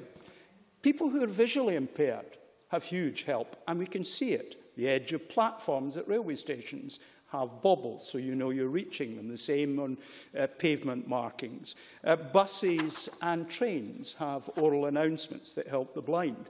How much are we doing for people who are deaf? So much less. So I think it is absolutely important uh, that we look at this as something where there is a category of people in our community, of people with a particular language, who have been significantly neglected uh, compared uh, to others. When I was a youngster in our uh, Sunday school, we actually uh, were taught some BSL. At least I think it was BSL, certainly sign language of some kind. Alas, not a shred of that uh, survives into my adult life. Even simple things like Dennis said, we need to be careful about our speaking rate. Well, over the nearly half million words I've contributed to parliamentary debates uh, since I came here in 2001, I'm averaging 131 words a minute. Do I really need to slow down? Can I speed up? And of course, as Dennis, in a little aside uh, a minute or two ago, explained to me, there isn't an exact map of words between the languages. Um, he told me that, for example, BSL doesn't have a word for if. Well, that's actually quite, uh, quite good news, because if's one of the most destructive words uh, in the English language in, in, in certain contexts. Let me just close, presiding officer, by saying a word or two about the efforts of the uh, proposer that is Bill Mark Griffin and uh, congratulate him on his work. We as a, a parliament should always be looking at what other parliaments uh, do. Australia has a seven-minute curfew on questions at Prime Minister's question time. It doesn't matter if the Minister First Minister, Prime Minister is speaking, chop. Next question. Not a bad idea. We're looking at what Westminster have done in electing committee conveners. But I think what we do and can show others is the access there is for backbenchers to their being able to legislate. Uh, in fact, if every uh, backbencher took the opportunity, that would be 256 bills per parliamentary session. But of course, there are so many fewer because it's a formidably difficult task, engaging a lot of time and effort. And I absolutely want to congratulate Mark uh, Griffiths on the work he's put into this and thank him uh, for that, if only for raising my awareness and giving me a set of questions I have to go and ask myself and get answers to later. Presiding officer. Thank you. Could I remind members to use full names when they refer to each other, please? Nigel Don, to be followed by Jayne Baxter. Thank you very much, uh, Presiding Officer. I would like to start congratu by congratulating Mark Griffin. Others have explained the process and they've been through it. I haven't. I'm not expecting to, to be honest, because I've realised it's actually quite difficult. But I think history is actually going to tell us that this was an important day, because I think this bill is going to be seen 10, 20 years' time as the first step of quite a number of steps that are going to get one of Scotland's languages into a place where it should have been for a very long time. And uh, as has already been said, I think by Liam McArthur, this is the practicable step at this stage. But I'm very clear it is no more than a step. And if anybody thinks this is where we stop, then I think we need to say to them now, no, you're wrong. I've actually met BSL translation in several places uh, in, in my political career, but I have to say one of the most interesting ones was only a few weeks ago when we looked at this very bill in the Delegated Powers and Law Reform Committee, which others will remember. And it taught me two things. The first is that you need to speak slowly, because translation is one of those arts if you're going to get the real sense of what's being said, then you've got to be able to think about it. Clearly, translators and interpreters are extremely bright folk, but there is a limit to the rate at which this can be dealt with and the right gestures put forward. The second thing it taught me is that you need to keep your voice up. And a lot of us, and I am one of them, tend to drop our voices at the end of the sentence. At the end of the sentence, and you don't know what they said. So that's a lesson in public speaking for all of us use BSL translators, and you learn to speak up. There's also one other thing that's emerged this afternoon, and I'd like to dwell on it for just a moment, presiding officer, and that was the influence of Cathy Craigie. Because, as has rightly been pointed out, Cathy Craigie was significantly involved in a piece of legislation or a draft bill on this in the previous session. She was significantly involved in the cross-party group on deafness, as it may come as news to some, was I in session three. And I think the lesson that I derive from this is actually to see how important cross-party groups can be in engaging with a part of Scottish society, discovering what needs to be done, and then over time getting that through the legislative process. I do also reflect that it has taken quite some time, and I think maybe that's just the reality, but it does suggest to us that we need to persevere. An aspect of BSL use that I think we have not said very much about this afternoon is the issue of the marginalisation and the isolation of BSL users. Because I think what we will know from a few moments' reflection is that when you feel marginalised and isolated, that is a mental health issue. And people who want to use a language which the rest of society is not prepared to let them use, are immediately being given a mental health issue, never mind a communication issue. And I'm pleased to note that in the government's response, there does seem to be a recognition that the costs of this bill and the implementation of it will probably, to some extent at least, come back in the reduction in some of the health costs that we might otherwise be building up for ourselves. And I think that's important. We need to understand that eliminating inequalities at every level within our society does actually have economic benefits to the public purse. It's good for absolutely everybody. If I can turn now briefly to the national plan. It's been suggested that we might take a bit longer to get this right. Can I say I must absolutely endorse that? It does seem to me that the first national plan is going to be the big stepping stone for this. And if it takes a little bit longer than we would like to get that right, then frankly, so what? Because there's no point in hurrying and getting it less than right. Uh, I have no idea what the answer to that should be. I couldn't dream of putting a number on it. But I think we must be very careful to make sure that the first national plan really does set out something which is understood by everybody to be good. Which listed authorities should be and who should talk to each other is not something on which I would want to comment. And I'm very grateful we've got an advisory group, which it sounds as though are going to set us in, in, in good stead. But can I endorse Gordon MacDonald's uh, comments about avoiding duplication?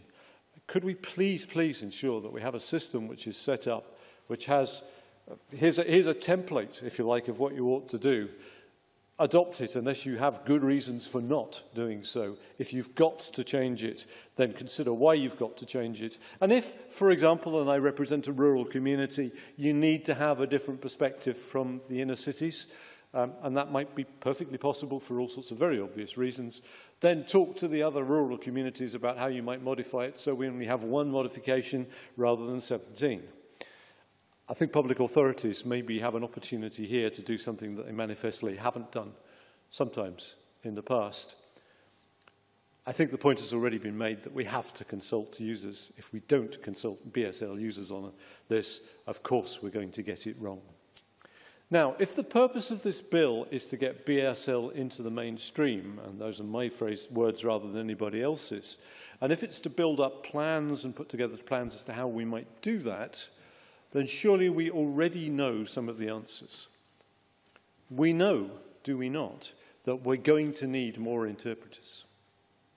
Simply because if public bodies are going to do their engagement properly, they're going to need them. I think we can see that coming.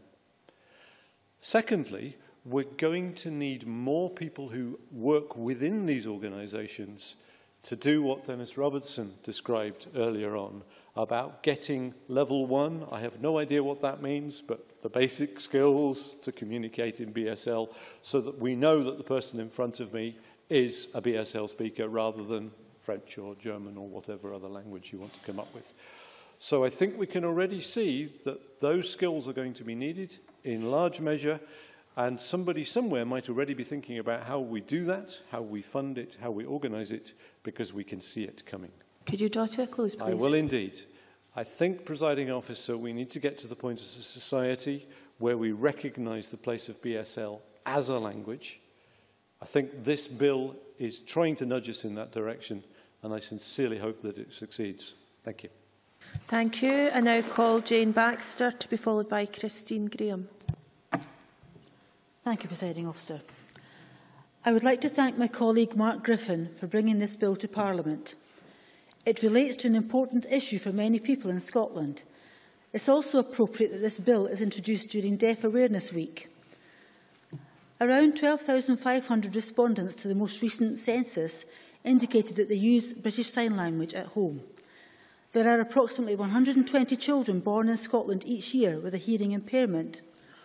Over 1,000 children and young people under the age of 19 in Scotland have severe or profound hearing loss. For many of these young people, BSL is the only method of communication that they have ever known. From my experience as a counsellor and an MSP, I have learned that many BSL users struggle to get the services they are entitled to, and sometimes it falls to them to make it easier for public services to respond. Like my constituent who needed some housing repairs and couldn't communicate with the local housing office. He took a video on his iPad and sent it to the council, and that got a really good response. It's actually a pretty effective technique for anyone to use, but solutions like that are not always available. It's clear then that BSL is used by a large number of people from all backgrounds and circumstances in Scotland. This bill is a positive contribution to their lives. This is a relatively modest bill. It does not impose an explicit statutory requirement on authorities to provide British Sign Language interpreters or translation services, nor does it require them to deliver any specific services to BSL users or those wishing to learn BSL. The bill also does not apply to sign language communicated in other languages or to other forms of communication that may be required by the deaf and hearing impaired community. Its goals are specific. Nonetheless, it is an important bill and one that will be a substantial step forward for BSL users across Scotland. The current arrangements contained in the Equality Act 2010 do not go far enough to take into account the specific needs and requirements of the deaf and hearing impaired community. The Equality Act is an important piece of legislation, putting the rights and needs of minority groups at the heart of the work and decisions taken by public bodies across the United Kingdom. With this bill, we have the opportunity here at the Scottish Parliament to build on their work for the deaf and hearing impaired community. But once we consider that the provisions of the Equality Act that apply to deaf and hearing impaired people are those which cover disabled people, an issue arises. As a Scottish Government paper from 2009 describes, deaf BSL users consider themselves as a distinct language group and not disabled. They have a unique culture, history and life experience as a language minority and feel that action to improve their inclusion in society should be based on exactly the same language approach to other groups, such as speakers of Gaelic or of Welsh. In effect, BSL is for many deaf and hearing impaired people their first language. They have communicated using it for their entire lives. They do not accept that it is a manifestation of a disability, but rather a, an expression of their cultural identity and a part of who they are. We should ensure that this feeling is recognised across government. This bill would assist in achieving such recognition. The bill requires Scottish ministers to promote and facilitate the use and understanding of the sign language known as British Sign Language by setting out and publishing a plan to be known as a British Sign Language National Plan for Scotland. This is a positive move. It would not place an excessive burden on the Scottish Government, but would allow the BSL and hearing impaired community to work with them to establish and maintain good practice for authorities to use when working with and providing services to them. The bill would operate much like the Gaelic, the Gaelic Language Scotland Act 2005, without the need for a new statutory body to be set up, as was in that Act. A really important provision of the bill is the plan to set up an advisory group to advise the Scottish Ministers on how to set up and implement the plan. This group would include BSL users and experts in the field. And I believe that this group would be of use not just for the explicit purposes of this Act, but in order to act as a conduit for the BSL, deaf and hearing impaired community to liaise and communicate with the Scottish Government. The voices of this community are heard all too rarely in making legislation and other government activities in this country. The, the advisory group could be a major force for good in this area. As I've already noted, there are thousands of BSL users in Scotland. Sadly, there are nowhere near enough interpreters. In Scotland, we have less than 100 interpreters for BSL. Many people have family members or friends who do this on their behalf. Many others are not so fortunate. We should look at this closely and seek a solution to what is clearly a failure of supply and demand. It may also be that we should encourage more widespread take-up of BSL amongst employees in frontline services such as councils, job centres and health services. I'd also like to take a moment to praise recent development in relation to BSL. The recent development of remote BSL interpreters for users of public services in Scotland is a positive one. I believe and hope that their approach to BSL is one that is encouraged by this bill. Returning to the specific provisions and implications of the bill, the Scottish Government has indicated that it would like to amend the bill in order to place the review of the national plan on a seven-year review cycle. This is unsatisfactory and not in the spirit of the bill. It is important that each government reviews its own progress and justifies its own actions. That is why it's imperative that the plan is reviewed on a five-year review cycle. This will ensure that the Scottish Ministers are held accountable by Parliament and BSL users for their plan. To conclude, this bill would make BSL users in Scotland's lives better. It would ensure that they are able to access public services and feel that their distinct culture is, is accepted and encouraged in Scotland. It would help BS users to go to college, to college and university and take part in community activities. I believe that this bill is a well thought out one and should be supported by all parties across the chamber today. Thank you very much. I remind members that speeches are six minutes. Please, I call Christine Grahame to be followed by Chic Brodie. Uh, thank you very much, uh, Deputy Presiding Officer. Can I add my congratulations to Mark Griffin? I've brought a member's bill through this Parliament myself. I know it's hard going and I also know it's quite difficult for a member to appear before a committee and look for a gentle interrogation. Uh, I have another bill coming, so I'm letting myself in for it again. But it does again demonstrate the value of a member's bill, which is usually very consensual in this Parliament and shows us with a different personality. As others have said, over three-quarter of a million people in Scotland suffer from a severe hearing impairment, and Jayne Baxter has told us how many in the Scottish census uh, said that they use BSL. And I'm glad that question was on the census paper. In my own constituency, in Midlothian, 233 responded that they used it, and in the borders, 228 which has galvanised me into looking into exactly what provision is made by the various service agencies across my constituency. But and I think it's very important that the bill embeds the status of BSL as a language, and I suspect that will increase these numbers. But I want to specifically turn to section 3, subsection 3, which I've alerted the Minister to already. I accept that he's now going to proceed with a national plan instead of all the little uh, local plans. But I note that the plan is to set out measures to be taken by the listed authority in relation to the use of BSL in connection with the exercise of the authority's functions. I, I look forward to an answer to which of the authorities listed in Schedule 2, which I have in front of me, will be subsumed into this national authority. I don't know if they're all, but I want to turn to some within my own particular interest of justice, where I think there must be huge issues about people involved in proceedings who have difficulties with hearing. Let's take just simply children's hearings.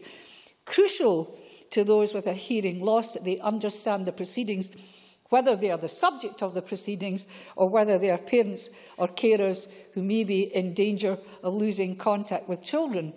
The Mental Welfare Commission, where issues such as compulsory treatment or indeed removal of liberty are issues under discussion. The Scottish Court Service.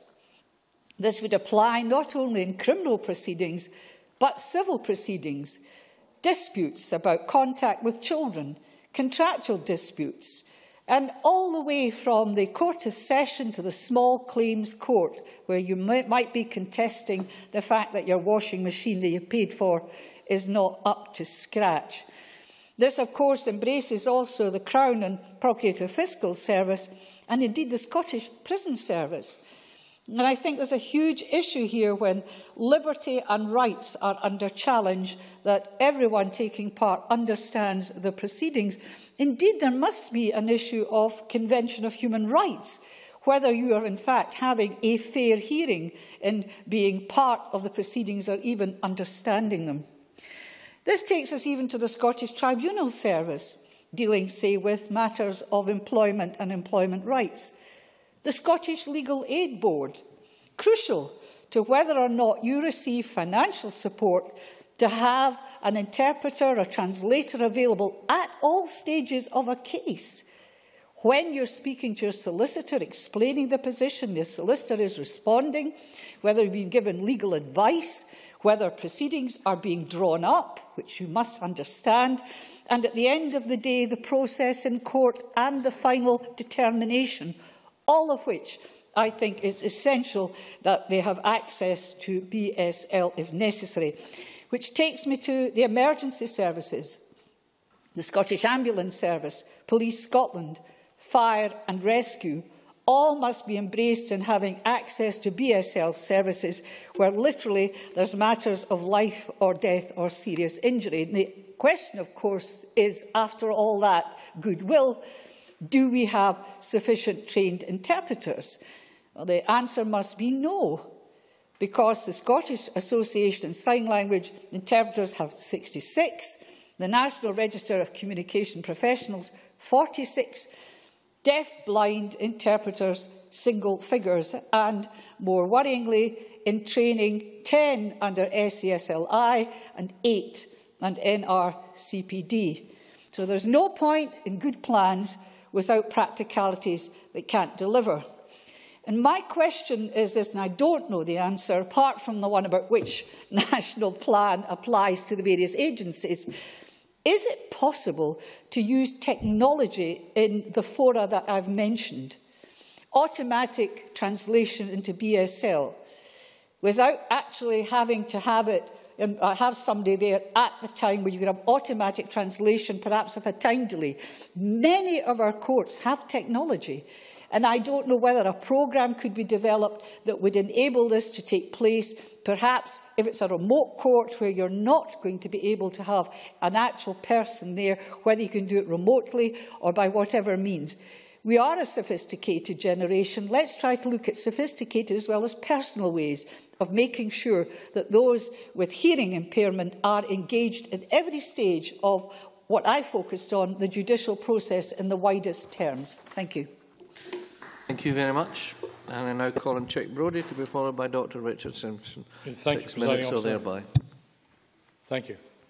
Uh, I too welcome this report and I uh, may I firstly applaud Mark Griffin uh, for having the foresight and tenacity in bringing this bill forward. It is perhaps regrettable that we are not, indeed cannot, uh, conduct this bill, each of us, in our speeches, uh, but who knows what the future will bring uh, uh, in terms of BSL communication. Of course, we do, however, have our wonderful uh, professional interpreters with us today to help.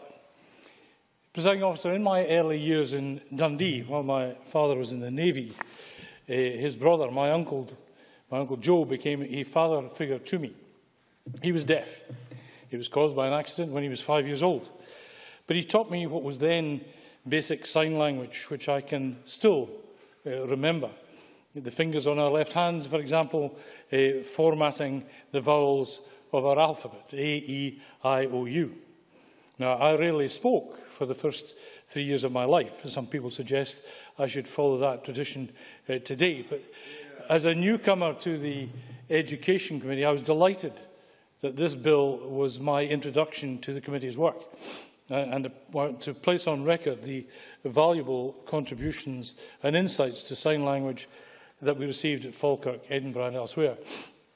While, of course, I and others support the bill and its general principles, its promotion is to be over the long term. In, in the interest of full inclusion of all in our society, I might have preferred a more robust intervention to legislate for public service bodies over the shorter term, in particular, to embrace the further employment of those who are deaf and to establish the profile and the means of an effective uh, communication therein. Presiding officer, accepted communication, BSL language promotion and education, particularly to those uh, of a very young age, and, and technology can generate more inclusion, as would a significant increase, uh, as has been mentioned, in the number of interpreters of deaf language. The difficulties faced by the deaf, for example, seeking and understanding medical analysis and treatment, or faced by questions they may have on the many local council services or on rail and air travel uh, are immense. These difficulties are sometimes too immense for the hearing, let alone uh, the deaf. And it was suggested, presiding officer, while the, the, we, the hearing, have call centres on almost everything from those public services to medical services to financial services, it cannot be beyond the wit of our technologists with further development of existing applications, with features like Skype and with more interpreters, it cannot be difficult to create similar video call centre arrangements uh, sometimes in future so that our deaf uh, citizens uh, can deal effectively with the challenges posed to them. As it is, programmes, and as it will be, the, pro the progress uh, amended, this bill certainly would and will raise the profile of the bill and its benefits to not just, not just the deaf community, but indeed to the wider community. Raising the profile is important, but more important is increasing its use. We fully accept the Government and the Finance Committee's concern about the financial and bureaucratic burden in creating the national framework and plan uh, as developed by the National Advisory Group. These, of course, are real, but a much greater focus on listed authorities, in particular local authorities, establishing a framework to achieve improved performance outcomes, I believe, is paramount. The development of planned outcomes with regard to BSL use and the deaf community must be matched by actions by those accepted and listed authorities. In the early stages, these plans or statements uh, need not be onerous, but seen rather as key initial steps on the journey we plan to take to achieve a national awakening with regard to how we include and communicate, communicate better with the deaf or hard of hearing. Presiding officer, this bill should underpin through its higher profile, should complement and should embrace existing equality legislation which the conclusions to stage one states and which identifies the deaf as disabled. They are evidently not.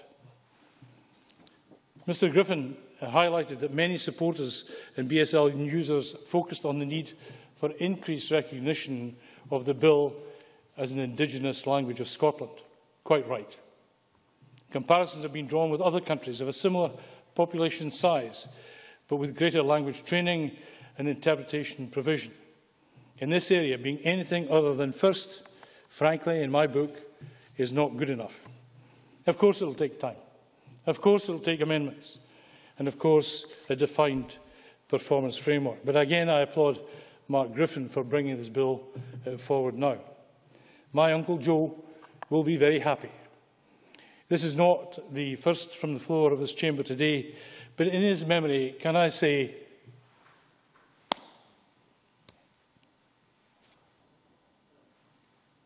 Thank you, Presiding Officer. Thank you, Mr Brodie. I now call on Dr Richard Simpson to be followed by Richard Lyle. Thank you, Presiding Officer. I want to join with others in congratulating Mark Griffin on bringing forward this bill and indeed the committee on its report and the manner in which they consulted, which I thought was, an, was exemplary. There is, of course, the United Nations Convention on the Rights of the Person with Disabilities, which came into force in 2008 and was ratified by the UK in 2009 and existing legislation such as the Equality Act 2010, the Patient Rights Act Scotland 2011, the Educational uh, Additional Support for Learning Scotland Acts of 2004 and 2009, uh, all of which afford some protection for deaf people by requiring the needs of the individual service users to be met. But this bill, promoting BSL language, if fully implemented, could help advance the aspirations of those who are deaf and help the 120 children born with profound deafness out of around 58,000 annual births in Scotland. It can identify the gaps in support and identify any postcode variations. There can be no doubt that the 12,533 respondents who reported using BSL at home uh, in Scotland's census 2011 do need more support. But at least, unlike the English census, we do ask the specific question, agreed as a result of Jack Connell McConnell beginning to address the BSL deficit. So can I ask the Minister whether this bill will ensure, or he will ensure, that even if the census is abandoned, as it may well be, that we will still have good data of this sort because it is fundamental to the measurement of progress. In 2000, a working group was set up in the Scottish Executive and in one form or another it continues to this day. A paper on languages, including BSL, was published in February 2007, and in 2014 the working group started work on an update to the roadmap in order to identify where progress had been made and to highlight priority action areas for action. And this update was to be published in early 2015. I was unable to find it, and I don't know if the Minister can provide us with a link or, if not, a date as to whether that report is going to be available. So I thought, coming at it not from the committee angle and not from the particular angle of the bill, that I'd try and look at it slightly differently and look at the progress that we've made. The Equality and Human Rights Commission in Scotland have estimated, as I reported last week, only 0.2% participation rate by disabled young persons in the apprentice, modern apprenticeship scheme, 79 out of 26,000. How many of those were, did had profound deafness? Well, we just don't know. But the statistics from the Scottish Council on Deafness do show that up to 70% of deaf people believe that they failed to get a job because of their deafness. Now, I did raise this issue last week, and I hope that in reporting disabilities in the future, we will get an idea of the number and types of disability. These numbers, of course, as we know, are hugely lower than they are in England. Um, only 0.2% in Scotland compared to 8.7% in England. There may be an explanation for that, of course. Yes, certainly, uh, Mr Robertson. Dennis Robertson. Uh, does the member accept that the BSL community themselves are suggesting that their language is not a disability and they are hoping that this bill can take forward the fact that it's a language and not disability? Fully accept Simpson, what the member can add is... on some time for the intervention. Thank you. I, I fully accept what the member is saying, but what I'm trying to address is where this takes us, because language is obviously has a purpose, and the purpose of that language is good communication skills, and in the workplace, that is absolutely fundamental. So ensuring that, the, that, they, that this is not a barrier to access is, is important. On education, we have a problem too.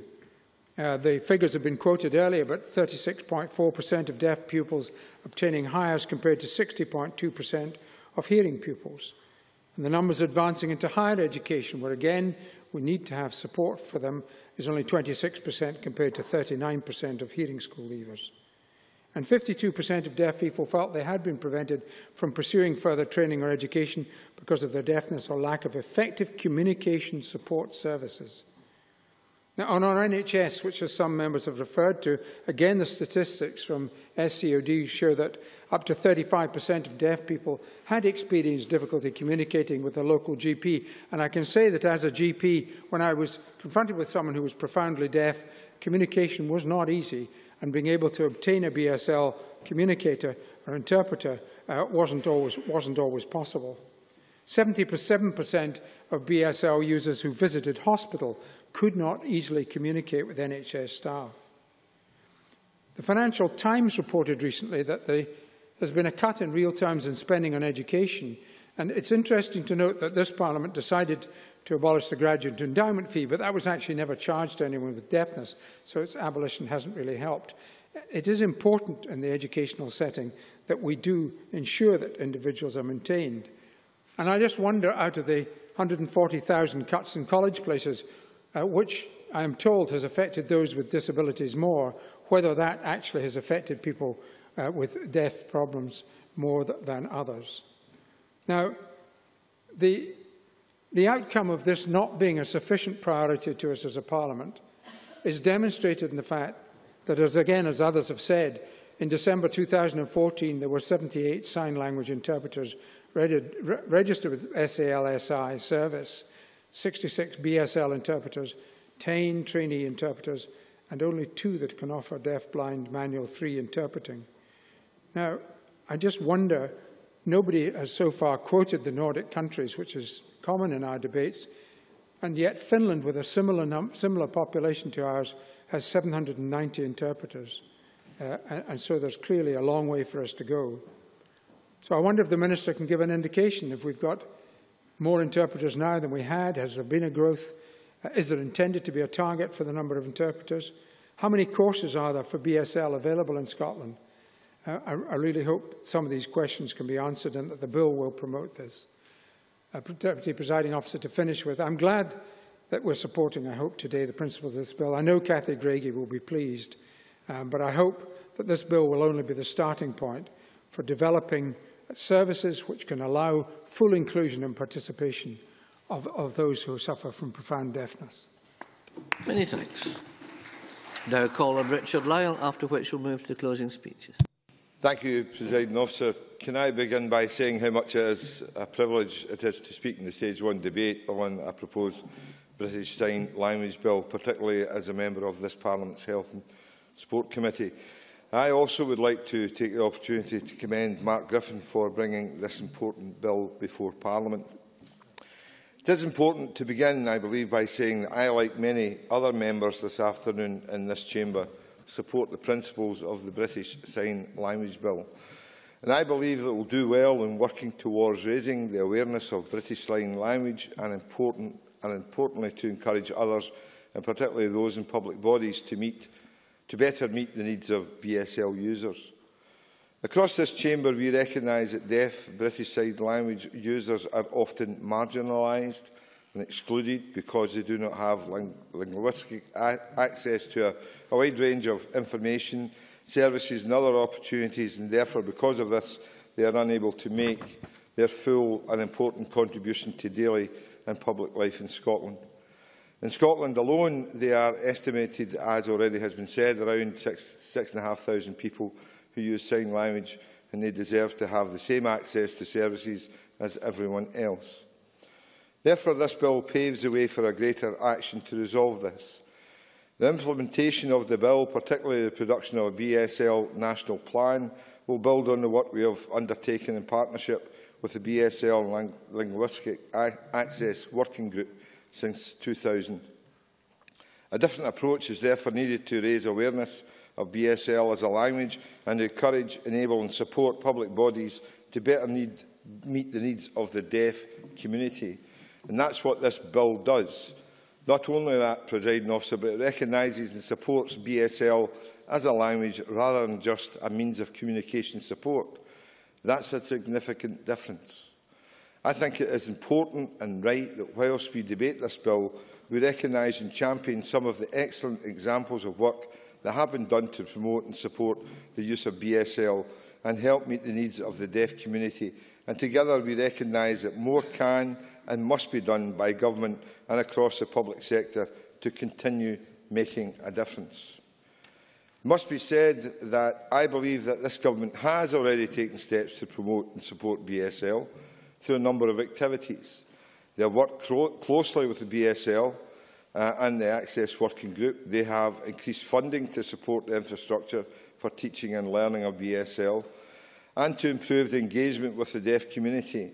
And I note that we are working continually to enable and encourage schools to offer, over, offer BSL as a subject alongside other more modern languages.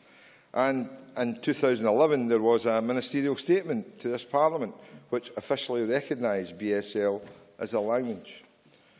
Through these activities, we have increased the profile of BF BSL and teach BSL at a higher level and develop a better understanding of the language. But it is now time to take the next step, and the bill enables us to do that. Whilst we should recognise that there may be costs involved in delivering improvements, I believe failing to meet the, the needs of BSL users will result in additional costs, not only at a personal and societal level, but for local authorities too. In saying this, I mean that one of the consequences of public bodies and local authorities not having to think more formally about services for deaf people is that deaf people are left behind in a way that creates a cost to society through the personal cost to them in terms of educational opportunities, the attainment gap, employment problems they face. This isn't what I nor this Parliament should want for any other people. In the memorandum from this government, they have set out an estimated total cost for the implementation of the bill as proposed of £6 million over four years. However, in line with current investment, the Scottish Government will likely to invest around £2 million over the period 2016-20 in BSL, reducing the estimated cost to around £4 million. And as already has been stated, health, health costs may be reduced as a result of this bill. Presiding officer, we benefit tremendously from the contribution that the deaf community make to our country, to our economy, and we should promote, protect, support and value their language and their culture. This bill goes quite some way to improve the lives of the deaf community in Scotland. And once again, I commend and thank Mark Griffin for all the hard work that he's done in the last number of months for bringing this bill before Parliament. And as already has been said by many members who have already spoke, I, at five o'clock, intend to support the principle of this bill and I commend it to everyone in this chamber. Thank you. Many thanks. And we now move to closing speeches and call on Mary Sp Scanlon. Uh, up to seven minutes, please. Thank you, Presiding Officer.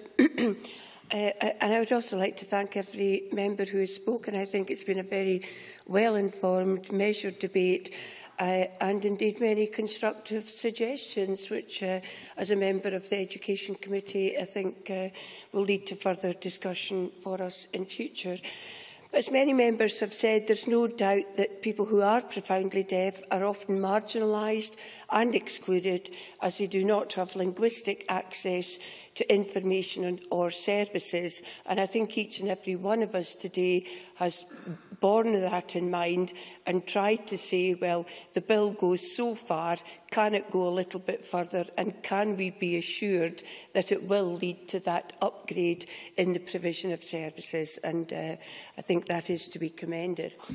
Um, I would also uh, welcome the setting up of the National Advisory Group to support the implementation of the bill, and I hope that they will adhere to the principles and the hopes uh, contained in this legislation and by each uh, member who has spoken today. I fully understand the difficulties associated with the first performance review in terms of uh, collection uh, of data, given that there does seem to be scant information about the current level of service and support. Uh, the lack of baseline data or performance indicators is an issue, and I note the Government will lodge an amendment on this issue to hopefully bring some clarity. Inclusion Scotland state that there are 57,000 people in Scotland with severe and profound deafness, with around 6,000 people for whom BSL is their sole or main language. Inclusion Scotland, in their briefing paper, say that there are only 30, 30 qualified BSL interpreters currently operating. Now, I'm not saying they're wrong, but many other figures have been given today.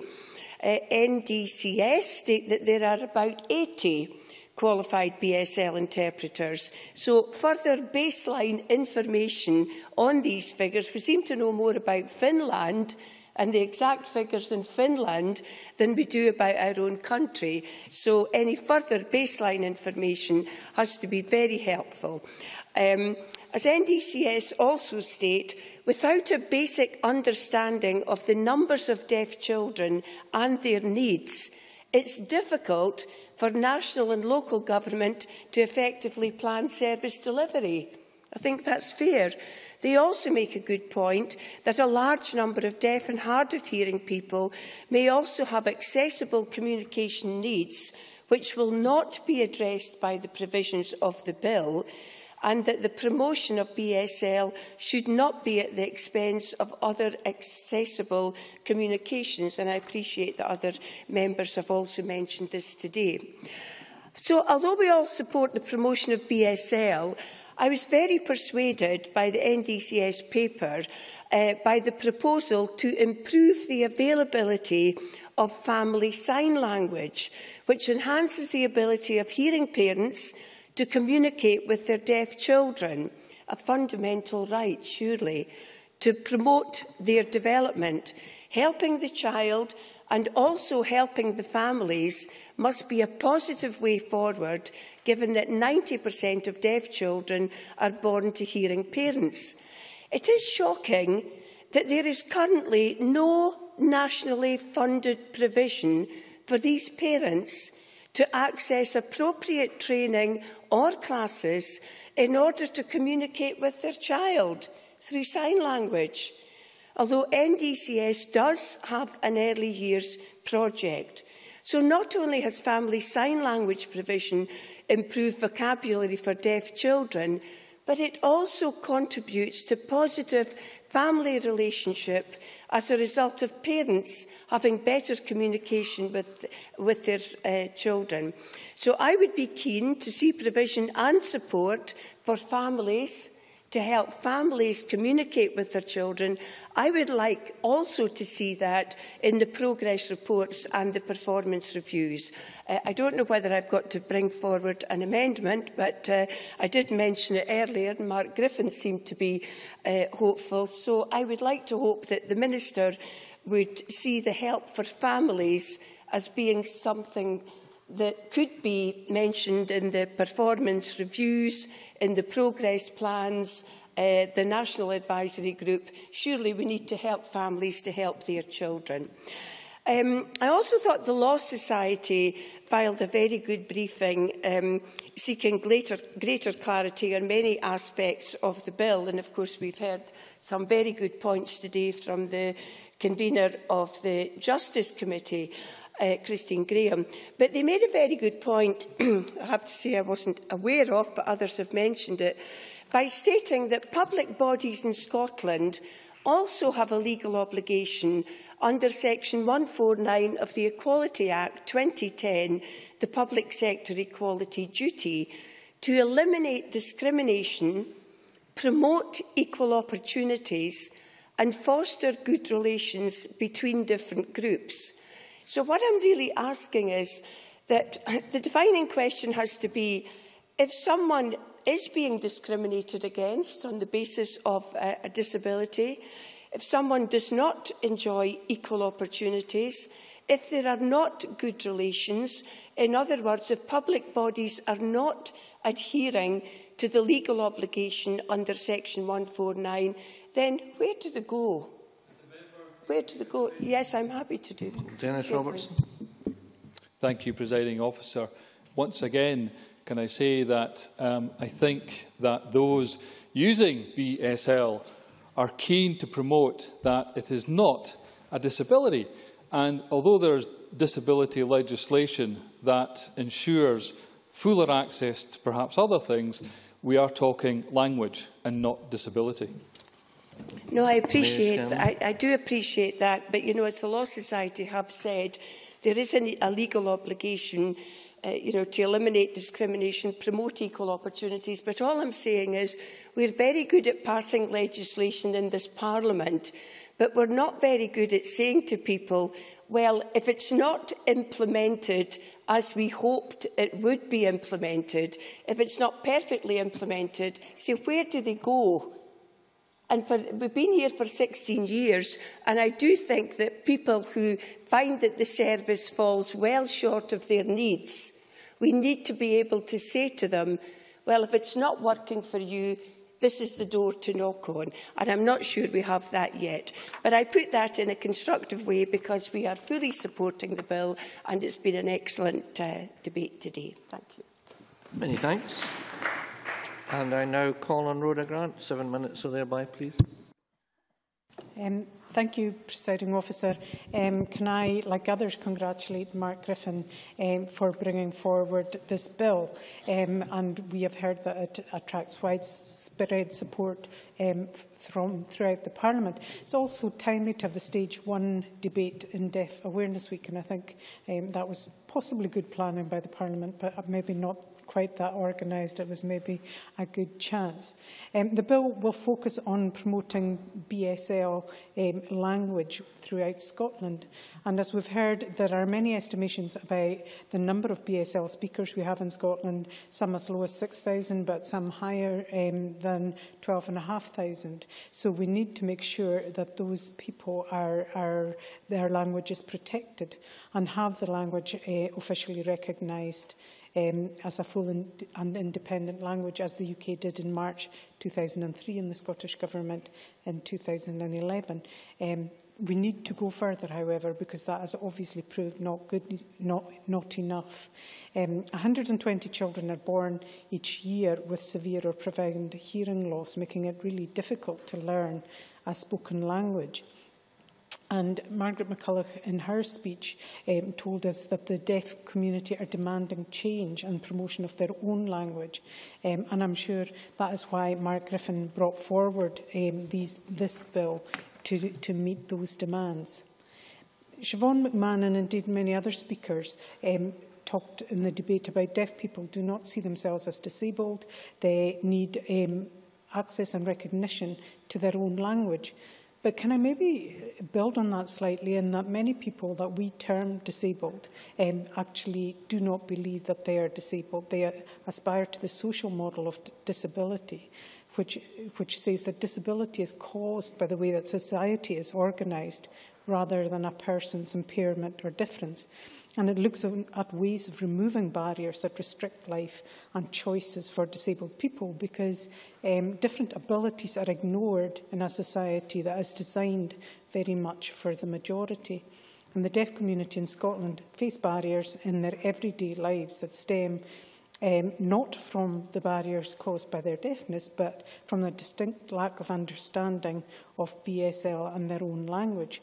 So therefore recognising BSL as a language in its own right is a step in the right direction.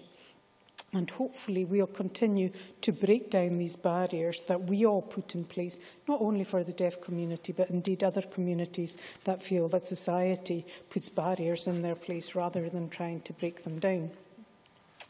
A number of speakers um, talked about access um, to services and Richard Simpson talked about legislation um, that currently demands that needs of service users are met, but we see so often that this falls down. Um, communication with medical staff, education or other authorities and indeed a lack of interpreters. Um, the Scottish Government figures for 2011-12 show that 36.4% uh, of deaf pupils attained Highers or advanced Highers, and that's compared with 60.2 of hearing pupils. Um, and indeed, Mark Griffin himself in his uh, speech talked about only 8% of teachers knowing how to sign, which is a huge barrier for people um, in mainstream education. The STUC, and I think we need to pay tribute to them uh, through Union Learning, run uh, BSL courses, and I attended one, um, and I really enjoyed it. It was quite strange how easy it was to pick up, indeed how intuitive it was, but it was very difficult um, to keep those skills up if you're not using it on a regular basis. So that's maybe um, something we need to look at in the future we need to look at um, um, including it in the curriculum, not only just as a language, but as we've heard today, the culture, the history is really important to be taught and learned as well, because the people's history is very much taken down um, in, in their language. And if we don't use the language, then we miss out to that kind of rich tapestry that is very seldom recorded. Christine Grahame talked about the justice system um, and access to courts, children's panels and indeed wider justice. And I think it is a point well made. If you can't access the justice system, then you are being discriminated against. Um, others, many speakers talked about health. And, you know, we depend on communication when we go to see our GP, a doctor, and indeed to be able to tell about symptoms, to get a proper diagnosis. But how much worse must that be at a time of critical illness when you, you're dealing with an emergency or maybe facing very difficult um, news about your own health. That, that you need to be able to communicate well, and not only the person going for the assistant need, needing to communicate well, but the person giving bad news needs to be able to communicate that properly. Nigel Don talked about um, mental health and the impact of exclusion on somebody's mental health. And I think that's something we need to bear in mind.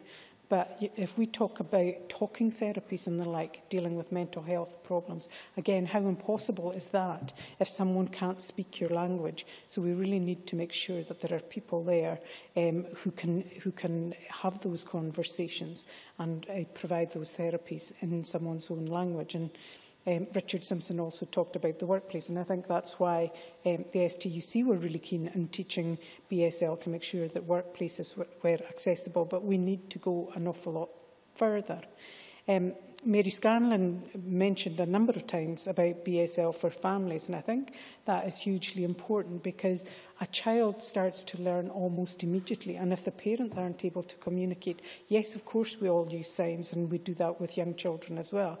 But the, the sooner a child starts to learn the language, the better. And the person that child is going to learn that language from is their parents. So it's really important when a child is born um, who needs to learn BSL that the parents are immediately taught BSL. And they can almost learn it along with the child as long as they're one step ahead to make sure that that child is learning. Presiding officer, we've heard of widespread support um, for the bill from BSL users and indeed um, many others beyond.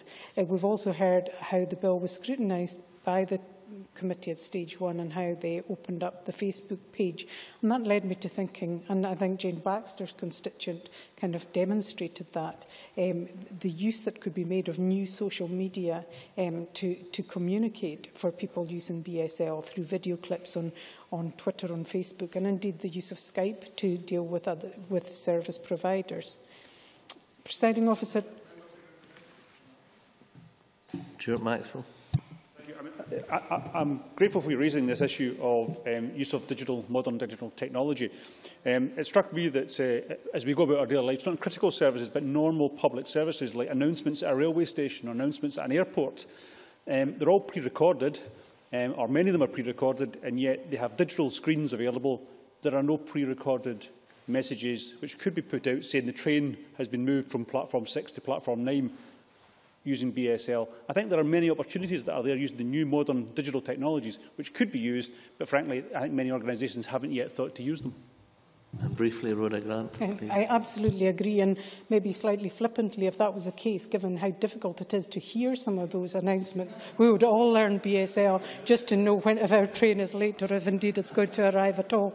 Um, Presiding officer, just can I close by congratulating Mark Griffin again for bringing the bill forward, and I'm sure his family are very proud of him.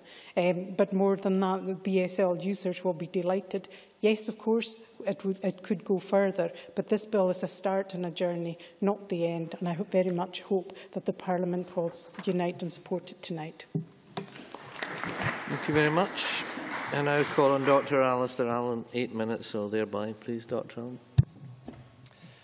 Well, uh, can I say, Presiding Officer, I think this has been one of the most genuinely constructive and positive debates I've certainly had a chance to be involved in in this Parliament. Uh, and I hope it's a, a debate whose content has meant uh, a great deal to the many people who've uh, campaigned uh, for a long time uh, to bring legislation of this kind before this Parliament. Now, as anybody who knows me will know, I have personal interest in languages of all kinds. And I think it has been important throughout the debate today, uh, as Stuart Maxwell and many others have mentioned, uh, that this is a piece of legislation, proposed legislation, which seeks to offer some status to a language. It is not merely about the issue of disability, important as that issue is. Dennis Robertson uh, made that uh, wider point about language uh, when he talked about where uh, this language, BSL, fits into our picture of world languages, if you like.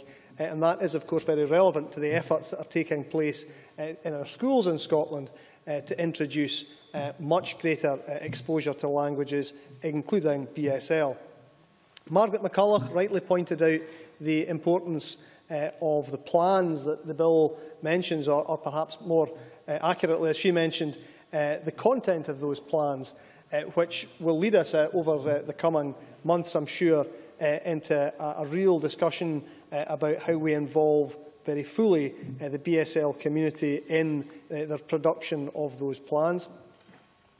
Uh, on the likely government amendments, Jayne Baxter and others uh, have raised the issue of the length, for instance, of the cycle of uh, the language plans. Uh, I should make it clear, however, at this point that uh, the reason that the, uh, the government has, has raised a question uh, about the five-year cycle uh, in the bill uh, as tabled uh, is not motivated by some desire to uh, avoid ministerial responsibility for the, the, the conduct of this or the, the achievement of this, the aims of this legislation within five-year parliamentary terms. It, it is simply, if I can be honest, uh, because uh, the experience of the, of the Gaelic language uh, legislation, important although that has been uh, for the language, does teach us that we, we cannot put organisations in a position where they are continually producing plans, important as they are, and we have to have a debate about what the best uh, length of that, that cycle is. Uh, Richard Simpson uh, asked when will the review, uh, I think I, I, I picked him up right, when will the review of the roadmap be published? Uh, I should say this was carried out by the Scottish Council on Deafness and will be published on their website. Christine Graham, if I can offer a second attempt to answer her original question. I hear her say please. Uh, uh, if her question is about the listed authorities not covered uh, by the national plan, uh, perhaps uh, helpful if I exemplify what those body bodies might include. They would include uh, territorial NHS boards, a small number of national bodies uh, not directly accountable to ministers, which would include, for instance, things like uh, the Scottish Parliamentary Corporate Body, Audit Scotland and others. That was not an exclusive list. Um, Christine Grahame also interestingly raised, interestingly raised the issue about interpreters, uh, a point also made by Dr Simpson and others. The Scottish Government is currently putting, uh, or has been uh, over the last few years, putting £1.5 million pounds into an apprenticeship-based model to try to address the very uh, need to increase the number uh, of interpreters that we have. Contact Scotland is one such effort which does uh, make use uh, of various technological uh, solutions to, to promote and make further use of our limited number of interpreters, although, again, on Christine Grahame's question there, uh, none of that obviates the need for human interpreters, notwithstanding the point that Stewart Maxwell did make about the fact uh, that there is considerable scope for pre-recorded messages to be used. in other contexts. I'd like just to say, uh, by way of uh, the rest of my offering uh, uh, this afternoon, just to put some of the, the bill in, in context and to talk about uh, some of the steps that this government is already taking uh, to promote and support BSL through a number of activities. Through, for instance, significant funding to support the infrastructure for teaching and learning of BSL, to improve our engagement with the deaf community, enabling and encouraging schools to offer BSL as a subject, as I mentioned, alongside other modern languages, and setting up a pilot online interpreting pilot uh, for BSL users wishing to access public services directly by phone. Now, through all these activities, we have made progress, but it is time to take the next step, and the bill, I believe, allows us to do that. We have a good idea of the longer-term outcomes we want to achieve, having worked closely with the BSL and Linguistic Access Working Group throughout our time in office. And as Gordon MacDonald referred to, as a government, we supported the publication of the group's report, uh, the Roadmap to Linguistic Access, which set out eight long-term aims to improve linguistic access for deaf and deaf-blind people. But there is, of course, an awful lot more to do, and we will draw on the expertise of the new BSL National Advisory Group to determine what priorities should be included in the national plan. So I would like to pick up on some of the specific points uh, around that. Uh, for instance, uh, Mary Scanlon uh, made a very important point about uh, deaf children uh, born into hearing families. And the Scottish Government wants Scotland to be genuinely the best place for everyone to grow up. Uh, so we have recognised the importance of supporting families with a, who have families who have a deaf baby, providing over half a million pounds to the National Deaf Children's Society uh, in 2011 to 2016 for its Family Sign project.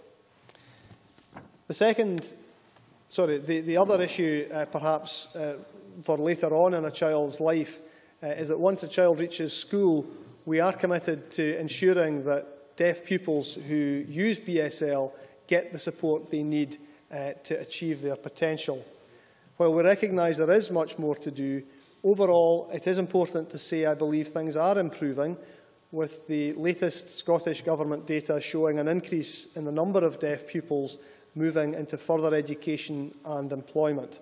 That is not to take away from the reality uh, many, many members have mentioned uh, of the attainment gap that still exists. I'm sure that uh, many members will agree with me that uh, deaf people who use BSL should be able to access public services in the same way as their hearing peers. That should be the aim that all of us have. And that's why earlier this year we announced the extension of the NHS 24 online British Sign Language video relay interpreting service uh, to ensure that that equality is further promoted. Presiding officer, in my earlier contribution, I emphasised the importance of effective engagement between the BSL community and the public bodies who serve them. I mentioned funding that has recently been awarded to five organisations to help support this. And together I hope that uh, they will develop and uh, deliver a cohesive programme of work around that. I want to say in conclusion, presiding officer, um, that as the Minister for Scotland's Languages, I'm honoured to have responsibility on behalf of the Government uh, for BSL and for responding to this bill. I look forward to playing my role in giving the language the support and protection it deserves through the provisions of this bill and the Government remains very happy to work uh, and to continue to help develop uh, the bill as it makes its way through Parliament. Thank you. Can I now call on Mark Griffin to wind up 10 minutes, Mr Griffin? Thank you, President Officer. I'd like to thank the, the Minister and members for their uh, valuable, uh, positive contributions to the debate. As I said in my evidence to the Education and Culture Committee on the 17th of March, one of the reasons I have for attempting to introduce a British Sign Language Bill was partly personal. Um, Mary Scanlon had raised it earlier, but didn't quite get it right. It was my two of my great-grandparents um, who were deaf-blind, and I never met them. They died before I was born, but I was um, brought up um, with stories um, from my mum about how they raised their children, the difficulty they faced, how they interacted with their children, um, with their, their grandchildren, and how they attempted to access services and overcome um, everyday um, activities with a, a dual-sensory impairment. And when I became an MSP, I, I joined the cross-party group on deafness, and where I heard of some of the experiences of people on that group. And it was sad to learn that almost three generations later, um, that people were still experiencing the same difficulties in accessing services, including medical and police services, um, and the same difficulties in relation to educational attainment. And it struck me that the language was still marginalised and still, still misunderstood. During evidence, the Minister for Learning Science and Scotland Languages, Dr Allan, provided us with a fitting historical illustration of the cultural roots of sign language in Scotland by citing an example of Joan, the daughter of King James I of Scotland, who died in 1493, who was deaf and used a form of sign language at court. So I thought I would do some research of my own, see if I could match that. And in keeping with the royal theme, I discovered that there was another member of the royal family who used a form of sign language, Alexandra, Princess of Wales, who married a son of Queen Victoria. And it was said that the princess learned fingerspelling and regularly attended deaf services at St Saviour's Church in London. And it's even claimed that she went on to teach Queen Victoria how to sign. Now, I'm under no illusion that this bill is anything other than a, a starting point.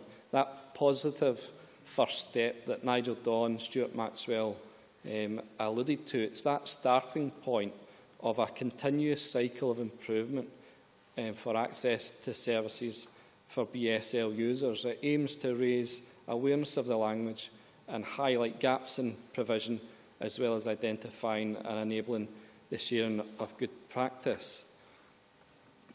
Siobhan McMahon and Gordon MacDonald and I think almost every other speaker in the debate raised the, the issue of um, the number of interpreters that we have, where in Scotland we have around 80 British Sign Language interpreters registered, whereas in Finland, um, that country that has gotten a lot of attention in this debate as well, who have a similar population to Scotland, um, have 750 interpreters.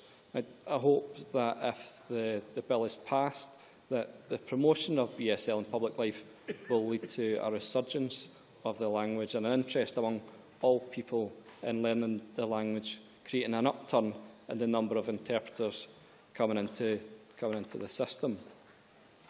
It, the Education and Culture Committee heard the evidence from witnesses who gave examples of how the lack of BSL, BSL awareness affected their everyday lives. One witness told the committee about people going into hospital and waiting hours or, or even months without really knowing what was going on with their treatment because there was no BSL interpreter available to help. Um, Chic Brodie raised the issues around um, interactions with financial institutions, the difficulties caused by data protection and the problems that can cause for, for BSL users who often rely on um, a family member or a friend to, to act on their behalf. Um, Christine Grahame raised issues of access to the, to the justice system. Now, if a BSL user um, needs to go to a solicitor, for example, um, in the process of, of purchasing a house, who, who pays for the interpreter and access to that, and access to that legal service? It, it's the BSL user because um, legal aid doesn't cover the cost of BSL interpreters. And that's just a, a small issue of access to justice and, and justice um, services, which Christine Grahame elaborated on, um, covers cases right up to the High Court, and any form of appeal or, or tribunal or mental health proceedings. There, there's a real um, difficulty with access to justice um, for, for BSL users.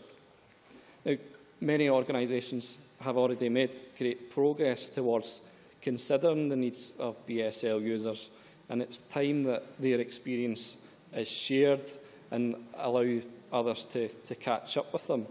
Now, I recognise that it's not possible to wave a magic wand and instantly enable BSL users to start using their own language every time they engage with the health service, educational establishments and so on. I wish I could, but I do believe that this bill is an important first step towards putting BSL on a firmer footing and that it will make a positive difference to the lives of, of BSL users.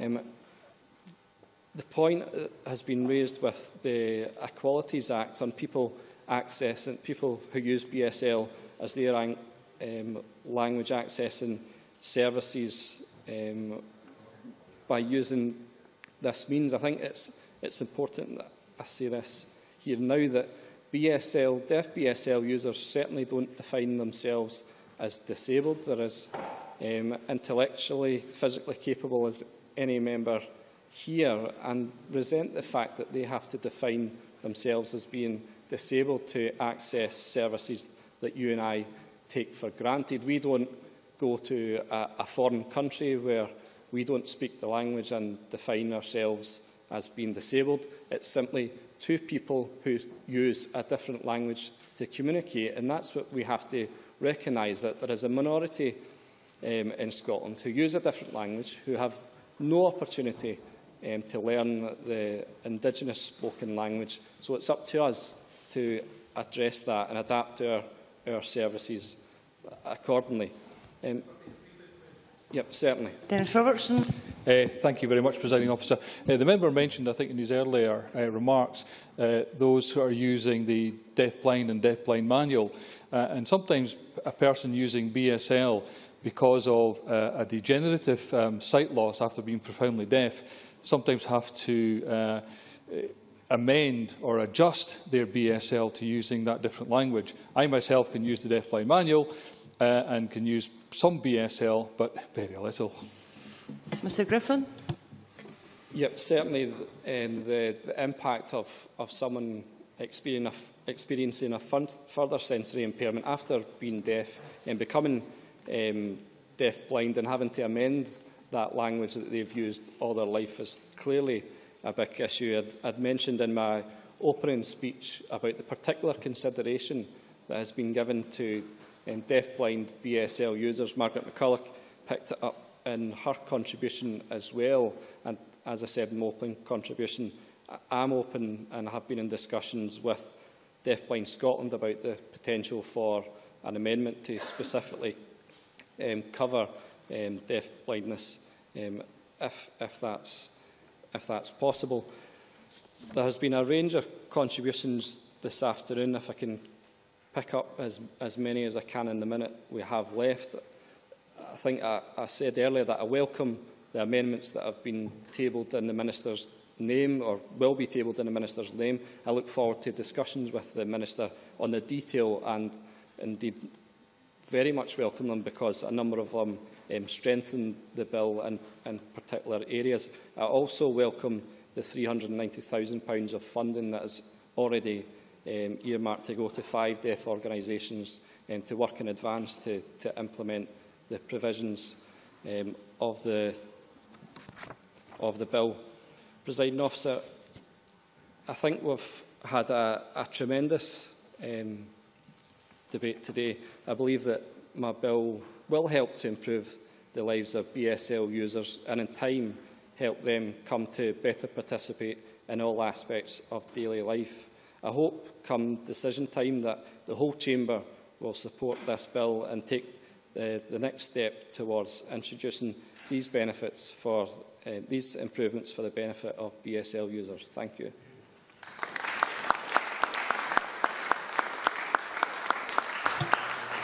That concludes the debate on the British Sign Language Scotland Bill. Can I take this opportunity to thank our signers at the back of the chamber um, and the camera operator as well. The next item of business is consideration of motion number 13052 in the name of John Swinney on the financial resolution for the British Sign Language Scotland Bill.